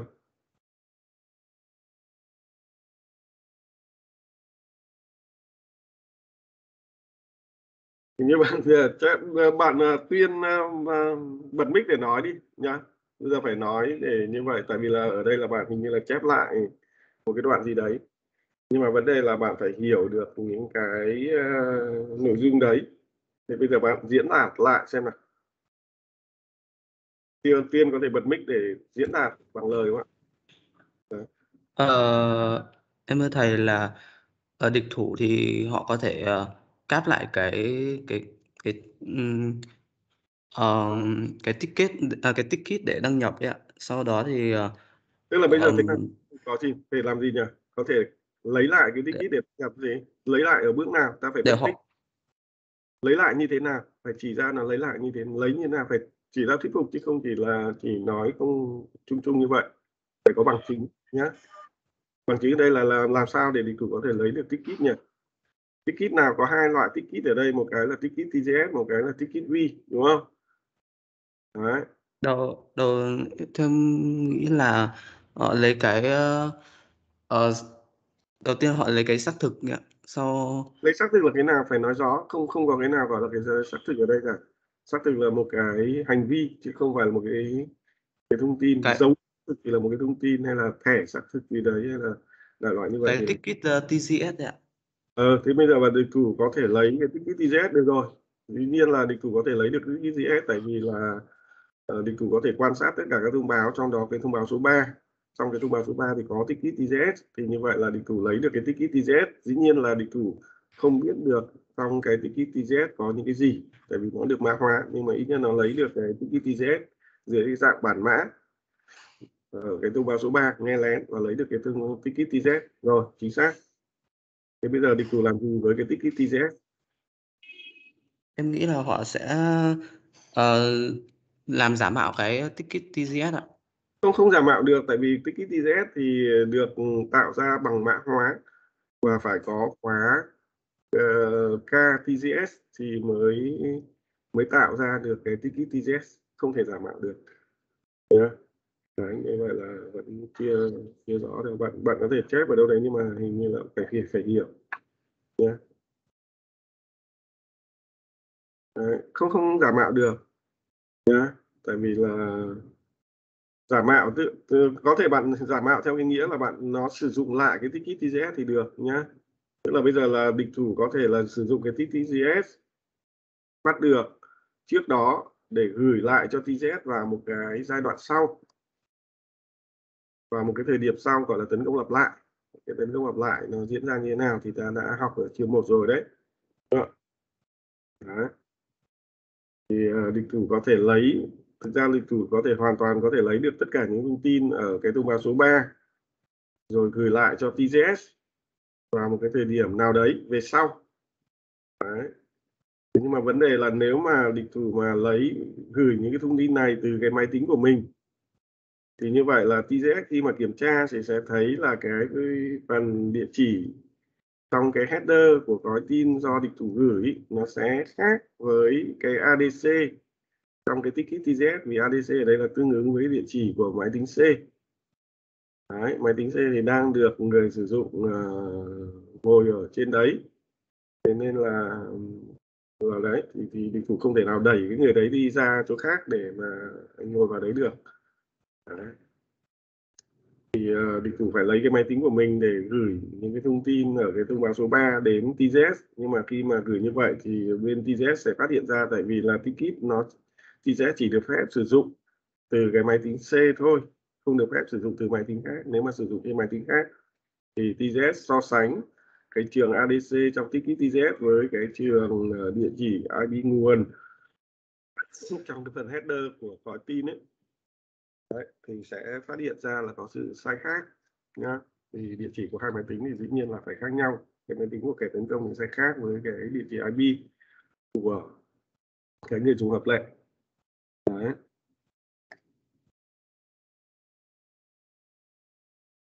Đấy, phải nói rõ hơn. Bây giờ là đấy thôi cái trường hợp này thì tại vì là nó uh, khá là là phức tạp nên là các bạn nên bật mic để nói tại vì là nói bằng lời có thể không diễn tả hết được uh, cái tình huống ở đây. Tức là viết viết ra ở đây nó thể là không nói hết được cái tình huống nhé nên là nếu mà bạn Nguyễn Quốc Khánh muốn trả lời thì bạn bật mic lên để nói để diễn giải tiếp nhé đấy thì cái tình huống là như thế này thì cái, cái tình huống là có thể tấn công ở cái thông báo số 3 tức là địch thủ sẽ tấn công lặp lại ở thông báo số 3 tấn công lặp lại ở thông báo số 3 có nghĩa là địch thủ bắt cái thông báo số 3 bao gồm tất cả những thông tin là IDC, IDV, ticket TGS rồi địch thủ sẽ gửi những thông tin đấy đến TGS vào một cái thời điểm nào đấy về sau. Đấy. vào một thời điểm nào đấy về sau tức là lúc đấy là C không có cái máy cái người sử dụng trên máy tính C là không có gửi cho TGS thông tin gì cả. Đấy thì địch thủ vẫn gửi những cái thông tin mà nó bắt được ở cái thông báo số 3 cho TGS đấy vấn đề là nếu mà địch thủ làm như thế từ một cái máy của mình thì TGS sẽ phát hiện ra đấy là không hợp lệ tại vì là cái thông tin uh, về cái địa chỉ của cái máy tính của kẻ tấn công nó sẽ không khớp với cái thông tin địa chỉ tức là ADC ở trong cái ticket TGS đấy.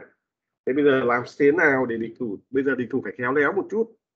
Nếu mà làm à, một cách thô sơ như vậy thì sẽ không lừa được cái TGS thế bây giờ các bạn thấy tưởng tượng có những tình huống gì? Chân phương tôi không có mẹo mực gì ở đây cả nhá. Không không không có kỹ thuật gì ở đây cả. Hoàn toàn là vấn đề về về khéo léo về kỹ nghệ xã hội thôi. Tức là trong an toàn thông tin thì uh, cái kỹ năng về kỹ nghệ xã hội tức là những cái kỹ năng khi mà các bạn à, tấn công ở bên ngoài bạn lừa đảo hay các thứ gì đấy như thế nào bạn áp dụng an toàn thông tin như thế là hoàn toàn có thể uh, phát huy hiệu quả yeah. Đấy, những cái kỹ năng đấy cũng rất cần thiết Đấy. Đấy.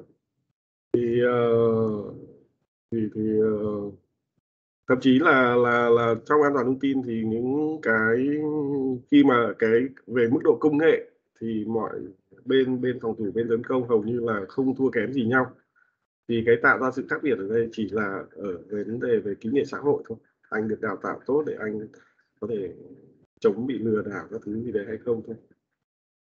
Thì đấy, thì quay trở lại cái vấn đề ở đây là bằng cái cách gì đấy nha, hoàn toàn là không phải là yếu tố kỹ thuật ở đây. Để như vậy là địch thủ có thể khiến cho TZS khi kiểm tra thì thấy cái trường ADC ở trong cái ticket thì nó trùng với cái ADC ở ngoài.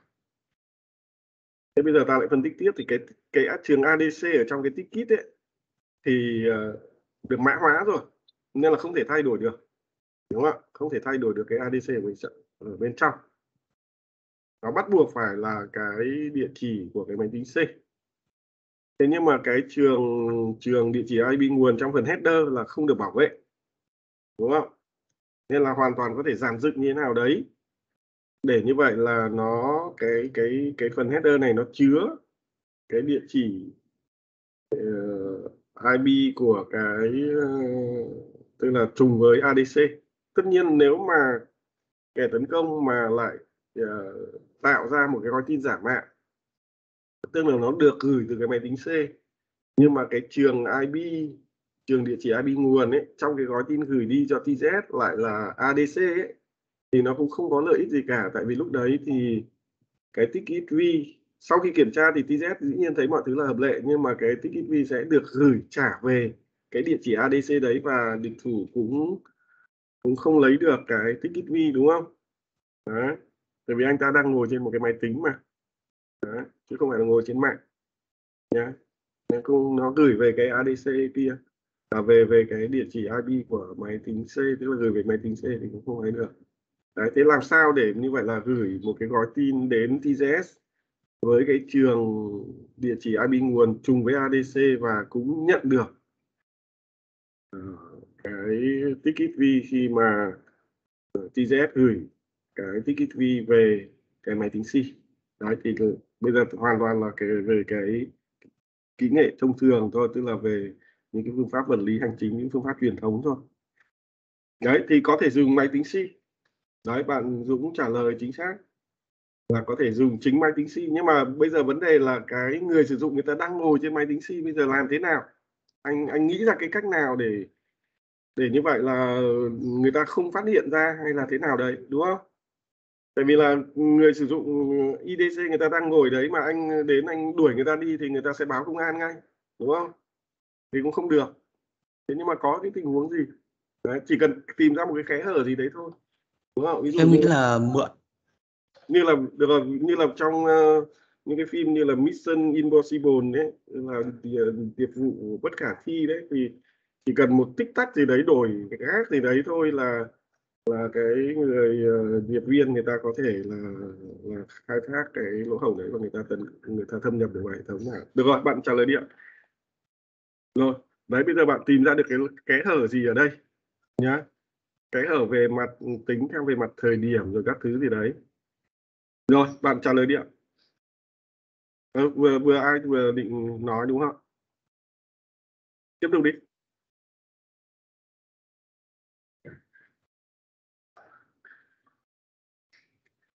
Đấy, nó, tức là bạn đặt mình như là trong cái phim nghiệp vụ bất khả thi ấy, của Tom Cruise ờ, đóng ấy. thì tôi thấy là cứ nhiều khi là rình rập rình rập chờ một cái thời cơ thích hợp thì bắt đầu là thâm nhập vào hệ thống. Đấy, vấn đề là vấn đề thời điểm. Đúng không thì ở đây cũng là vấn đề về thời điểm, có thể là rình rập. Bình thường thì không được.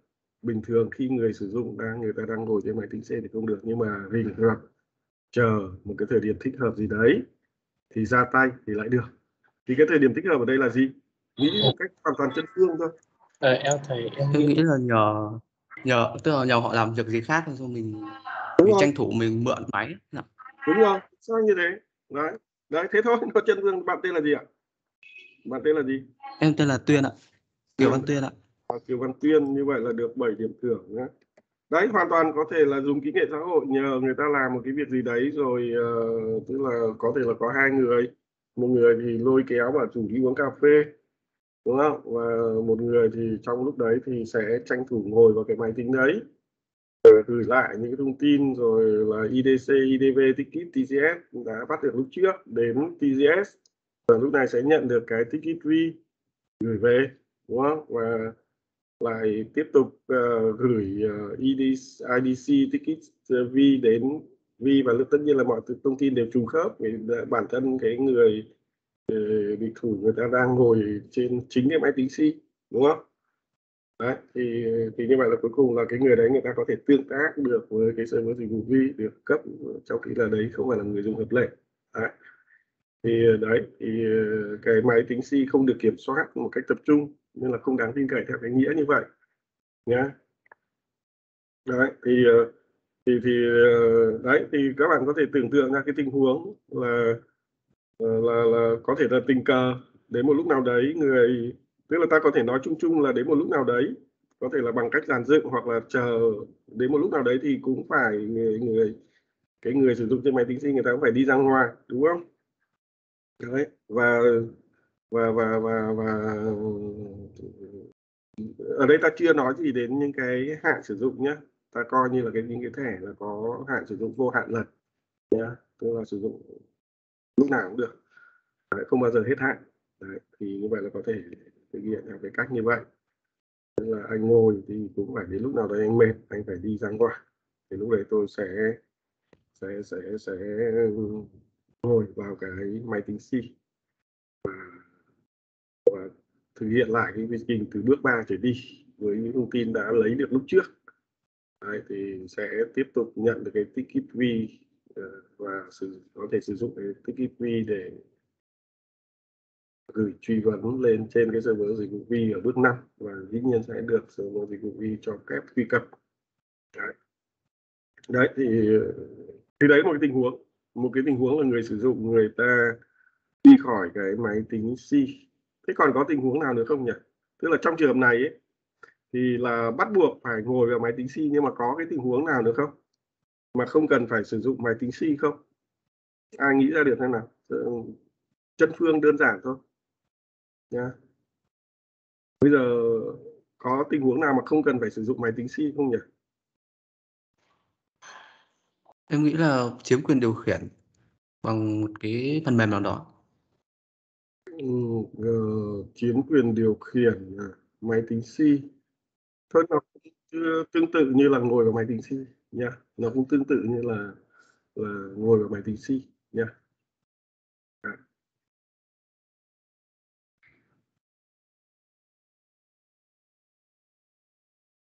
Nào còn một tình huống nào nữa? Đấy, rất là đơn giản thôi.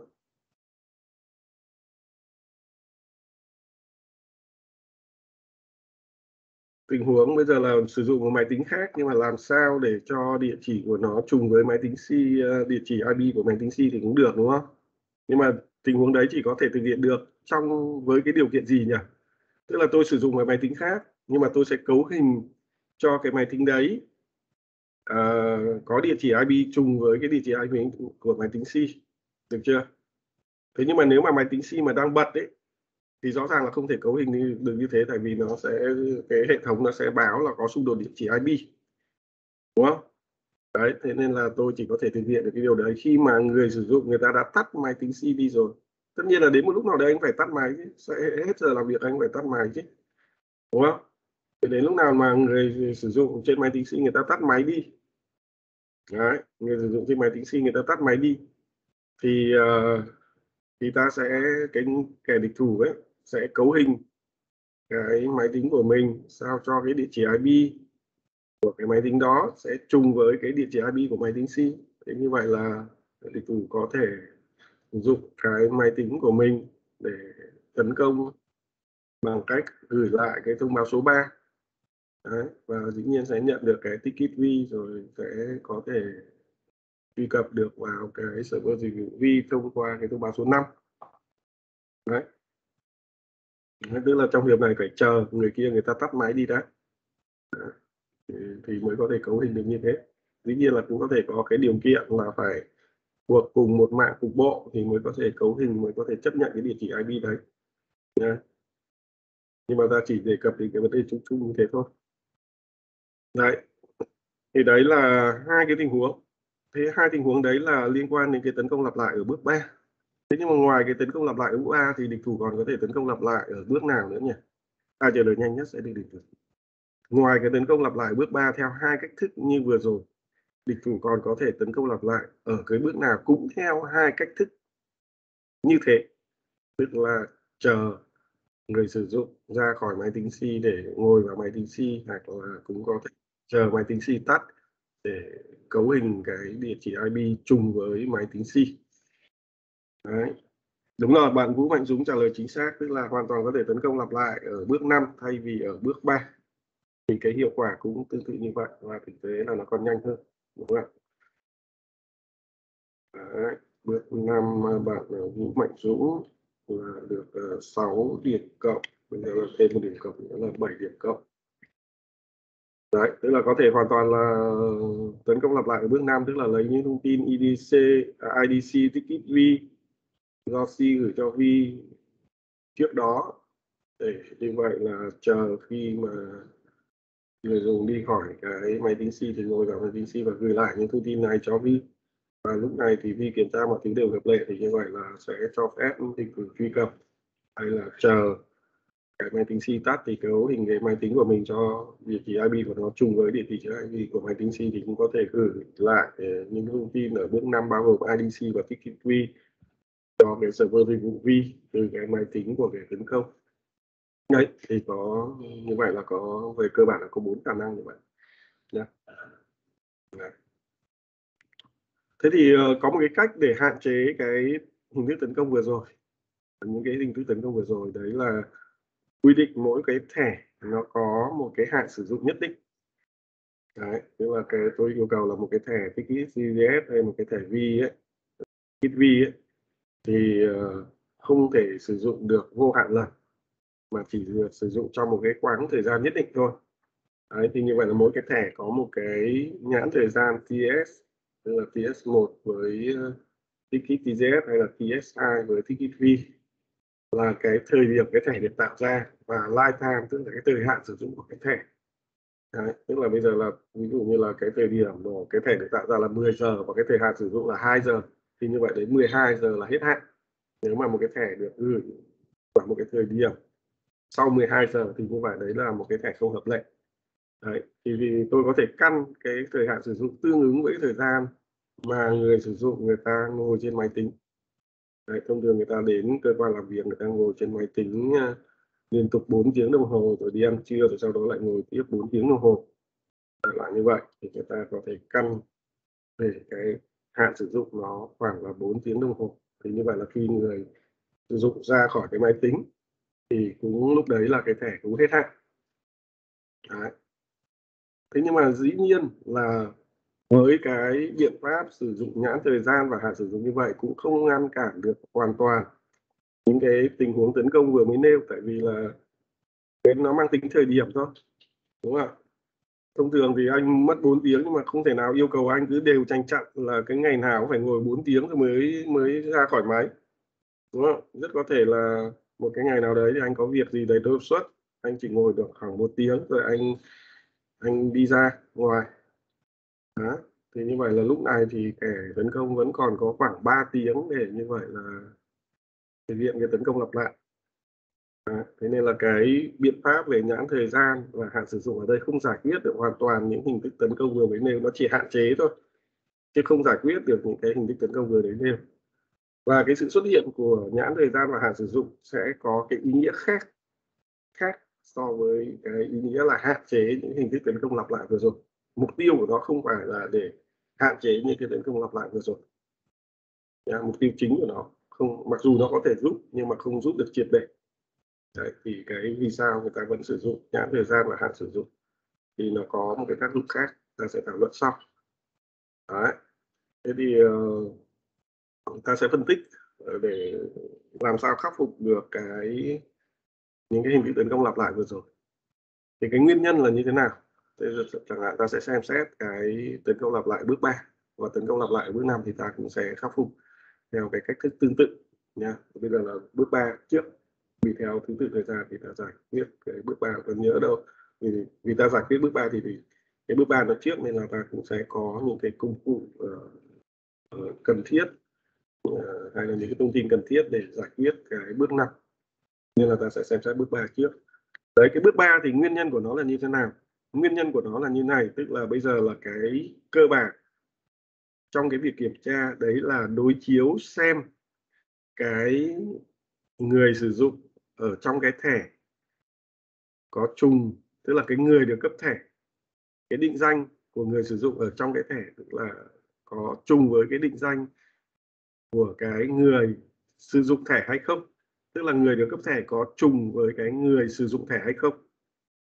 Thì cái yếu tố về, tức là cái định danh của người được cấp thẻ thì không thể thay đổi được, không thể giả mạo được. Tuy nhiên, cái thông tin về cái tức là cái định danh của người sử dụng thẻ thì lại có thể giả mạo được theo những cái tình huống vừa mới nêu tức là địch thủ ngồi vào máy tính C. Và cái tên của anh ta không phải là IDC mà là một cái ID gì đấy của kẻ tấn công. Nhưng mà anh ta không sử dụng cái định danh thật của mình mà lại giả mạo là IDC đấy, để đánh lừa TGS anh ta nói với TGS anh ta là IDC để như vậy là TGS có thể cho phép anh ta truy cập tức là cấp cho anh ta cái ticket V. Nhưng mà thực chất anh ta không phải là IDC tương tự như vậy thì cái ờ, ADC ở đây được khai báo ở đây cũng uh, ví dụ như là trong cái tình huống về cấu hình địa chỉ IP ấy, thì rõ ràng là cũng là một cái hình thức giả mạo tại vì là cái máy tính đấy không phải là không thực sự. Là cái ờ, cái máy tính C ban đầu nhưng mà tìm cách giả mạo cái máy tính đấy.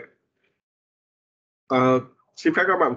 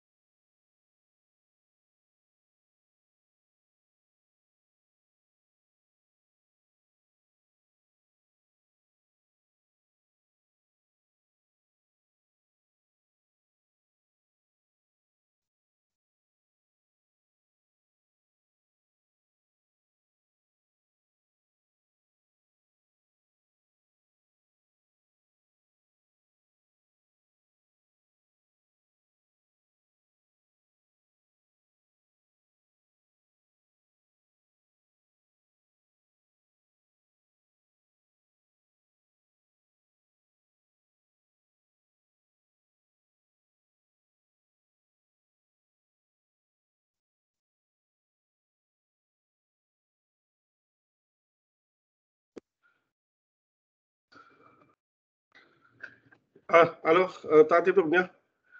À, đấy thì um, cái vấn đề ở đây là uh, cái thông tin về định danh và địa chỉ ở bên ngoài có thể bị giả mạo.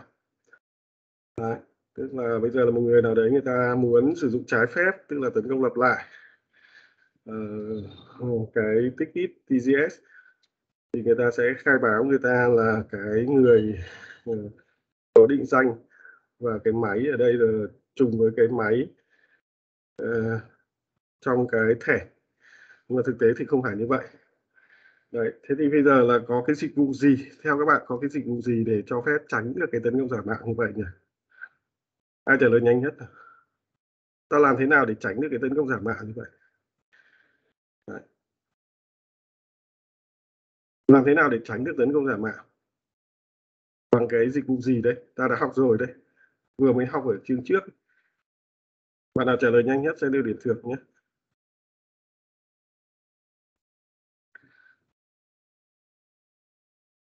Không không phải.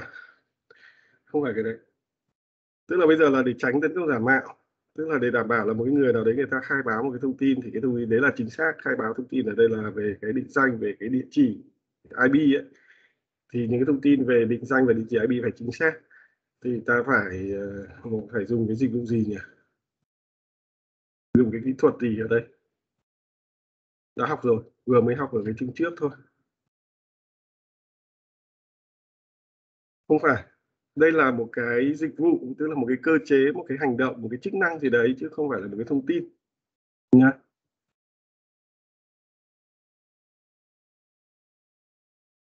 tức là một cái dịch vụ cho phép làm cái điều gì đấy đúng rồi.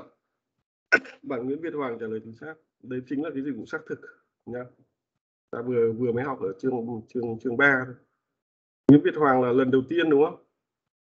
Ừ. Nguyễn Việt Hoàng là lần đầu tiên ờ, được điểm thưởng, đúng không ạ? Nguyễn Việt Hoàng. Đúng không ạ? Nguyễn Việt Hoàng được một điểm thưởng.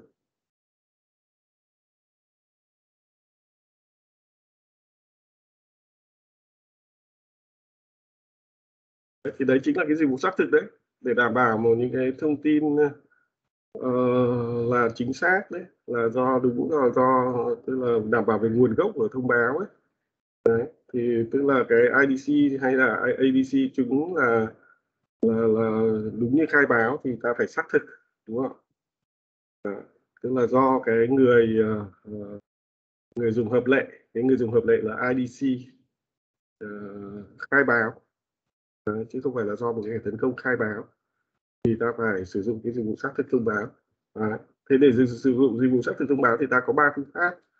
Cái phương pháp thứ nhất là mã hóa có thể là mã hóa đối xứng hay là mã hóa công khai có thể là sử dụng hàm băm có thể là sử dụng mã xác thực thông báo.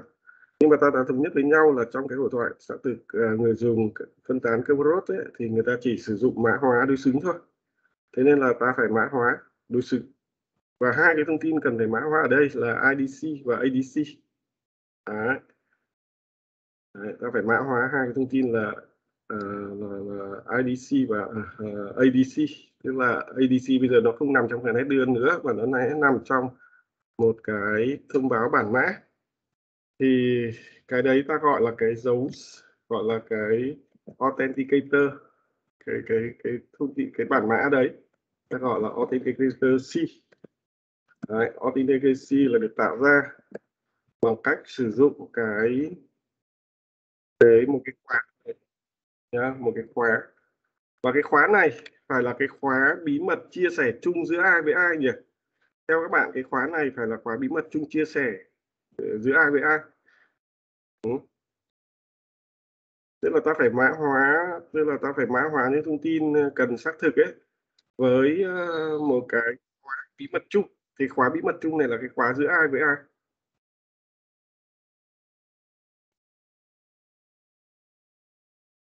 Giữa server và user. Nó có hai server ở đây nên là ta phải nói rõ là server nào nhá. Có hai server, một cái là AS và một cái là TCS nên là nói rõ là server nào. Thì còn server không thì chưa đủ. Bạn Kiều Văn Tuyên nói là AS và TZ không đúng. Bạn Đàm Tuấn Minh là C và TZ chính xác. Đàm Tuấn Minh chính xác nhé trả lời nhanh đầu tiên là C và PZS bạn Đàm Tuấn Minh trả lời chính xác. Đàm Tuấn Minh. Đàm Tuấn Minh có hai điểm thưởng bây giờ thêm một điểm thưởng nữa là ba điểm thưởng. Đấy. thì như vậy là cái khóa đấy phải là một khóa bí mật chung. Chia sẻ giữa C và TZ ta gọi cái khóa đấy là cây. C uh, C TZS nhé. Đấy. Đây là khỏi bí mật chung và những cái thông tin được mã hóa ở đây là IDC và à, và ADC về mã hóa hai thông tin này vì hai thông tin này cần phải được xác thực, nha. Phải đúng là do do cái người dùng hợp lệ khai báo chứ không phải là do cái kẻ tấn công khai báo người dùng hợp lệ khai báo thì là một chính xác chứ còn kẻ tấn công khai báo thì nó sẽ không chính xác. Có thể là một thông tin giả mạo. Đấy thì đấy tức là ta phải mã hóa IDC và ADC với cái khóa bí mật chung giữa C và TGS ta ký hiệu là KCTGS đấy, và như vậy là cái thông báo số 1 và thông báo số 2 thì tạm thời chưa thay đổi gì cả nhá. Tạm thời như vậy nhưng mà cái thông báo số 3 thì sẽ thay đổi. Thông báo số 3 sẽ viết lại như sau. Công thông báo số 3 tức là C gửi cho DCS tin là bây giờ là không gửi ADC IDC một cách chân phương ở ngoài nữa vì có thể bị giả mạo. Mà ta sẽ gửi cái, đấy, cái dạng là authenticator C. Tức là lúc này ta sẽ có là IDV thì vẫn giữ nguyên, đúng không? Cần phải chỉ ra là muốn truy cập vào cái server dịch vụ nào đấy, rồi đến ticket TGS thì vẫn giữ nguyên đấy, và cái thứ ba nữa là cái authenticator C đấy. cái thông báo số 3 sẽ được viết lại như thế này tức là đưa IDC và ADC vào cái authenticator C để bảo vệ để đảm bảo tính xác thực của những thông tin này đấy thế nhưng mà uh, đấy thế thì uh, vấn đề là bây giờ là ta phải làm sao có được cái KCTS cái này là không phải là đương nhiên là có nhá. Đấy, thì đây chính là một cái vấn đề về phân phối khóa đối xứng. Tức là bây giờ yêu cầu đặt ra là làm sao để C và TCS có thể phân phối chia sẻ với nhau một khóa bí mật chung. Đấy thì đấy là cái nhiệm vụ đặt ra. Đấy. thì bây giờ là ta đã học có bốn cái phương pháp phân phối khóa đối xứng nhiệm vụ các bạn là chỉ ra là cái phương pháp nào là thích hợp để sử dụng trong trường hợp này. Đấy, 1, 2, 3, 4 ai trả lời nhanh nhất sẽ được thưởng chưa cần giải thích gì cả. Và Nguyễn Quốc Khánh uh, tiếp tục uh, tiếp tục là phương pháp thứ ba. Các bạn khác tiếp tục trả lời chưa chính xác. Dạ. Phương pháp nào? Phương pháp thứ ba chưa chính xác, tại vì với phương pháp thứ ba thì giữa C và DZ phải có một hóa bí mật chung từ nhưng mà rõ ràng là chưa có, đúng không ạ? C là lần đầu tiên liên hệ với AS rồi lần đầu tiên với DZ và đây là môi trường mở. C không cần phải đăng ký từ trước, đúng không với TGS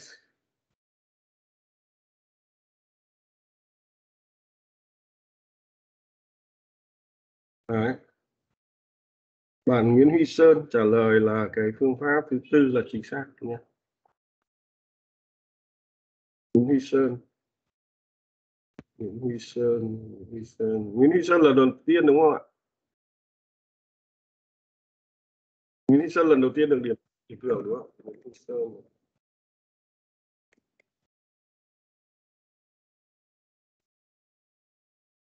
Đấy, thì như vậy là ta sử dụng phương pháp thứ tư. Hai cái phương pháp đầu tiên là những phương pháp vật lý hành chính rõ ràng là không thể áp dụng được trong một cái hệ thống tự động hoàn toàn như thế này. Đây là một hệ thống tự động hoàn toàn, không thể nào yêu cầu mỗi lần anh muốn truy cập vào một cái dịch vụ nào đấy anh phải lóc cóc anh đến server rồi anh ờ, trao khóa cho người ta các thứ nhá. Ờ, đấy là những phương pháp vật lý hành chính, những phương pháp mang tính chất thủ công. Không trong khi đây là một cái dịch vụ tự động, một cái dịch vụ phần mềm mà, phần mềm có nghĩa là tự động đấy thì ờ, cái phương pháp thứ tư là thích hợp. Đấy thế thì bây giờ ai giải thích được vì sao cái phương pháp thứ tư là thích hợp nhỉ? Đấy tôi đã giải thích cái phương pháp thứ ba vì sao không thích hợp rồi nha. Bây giờ bạn nào thì giải thích có thể là sơn hoặc là một bạn nào đấy khác giải thích vì sao cái phương pháp thứ tư là thích hợp. Đấy có thể viết hoặc là có thể uh, bật mic lên để nói. Bởi vì là cái giải thích này nó cũng tương đối dễ tương đối ngắn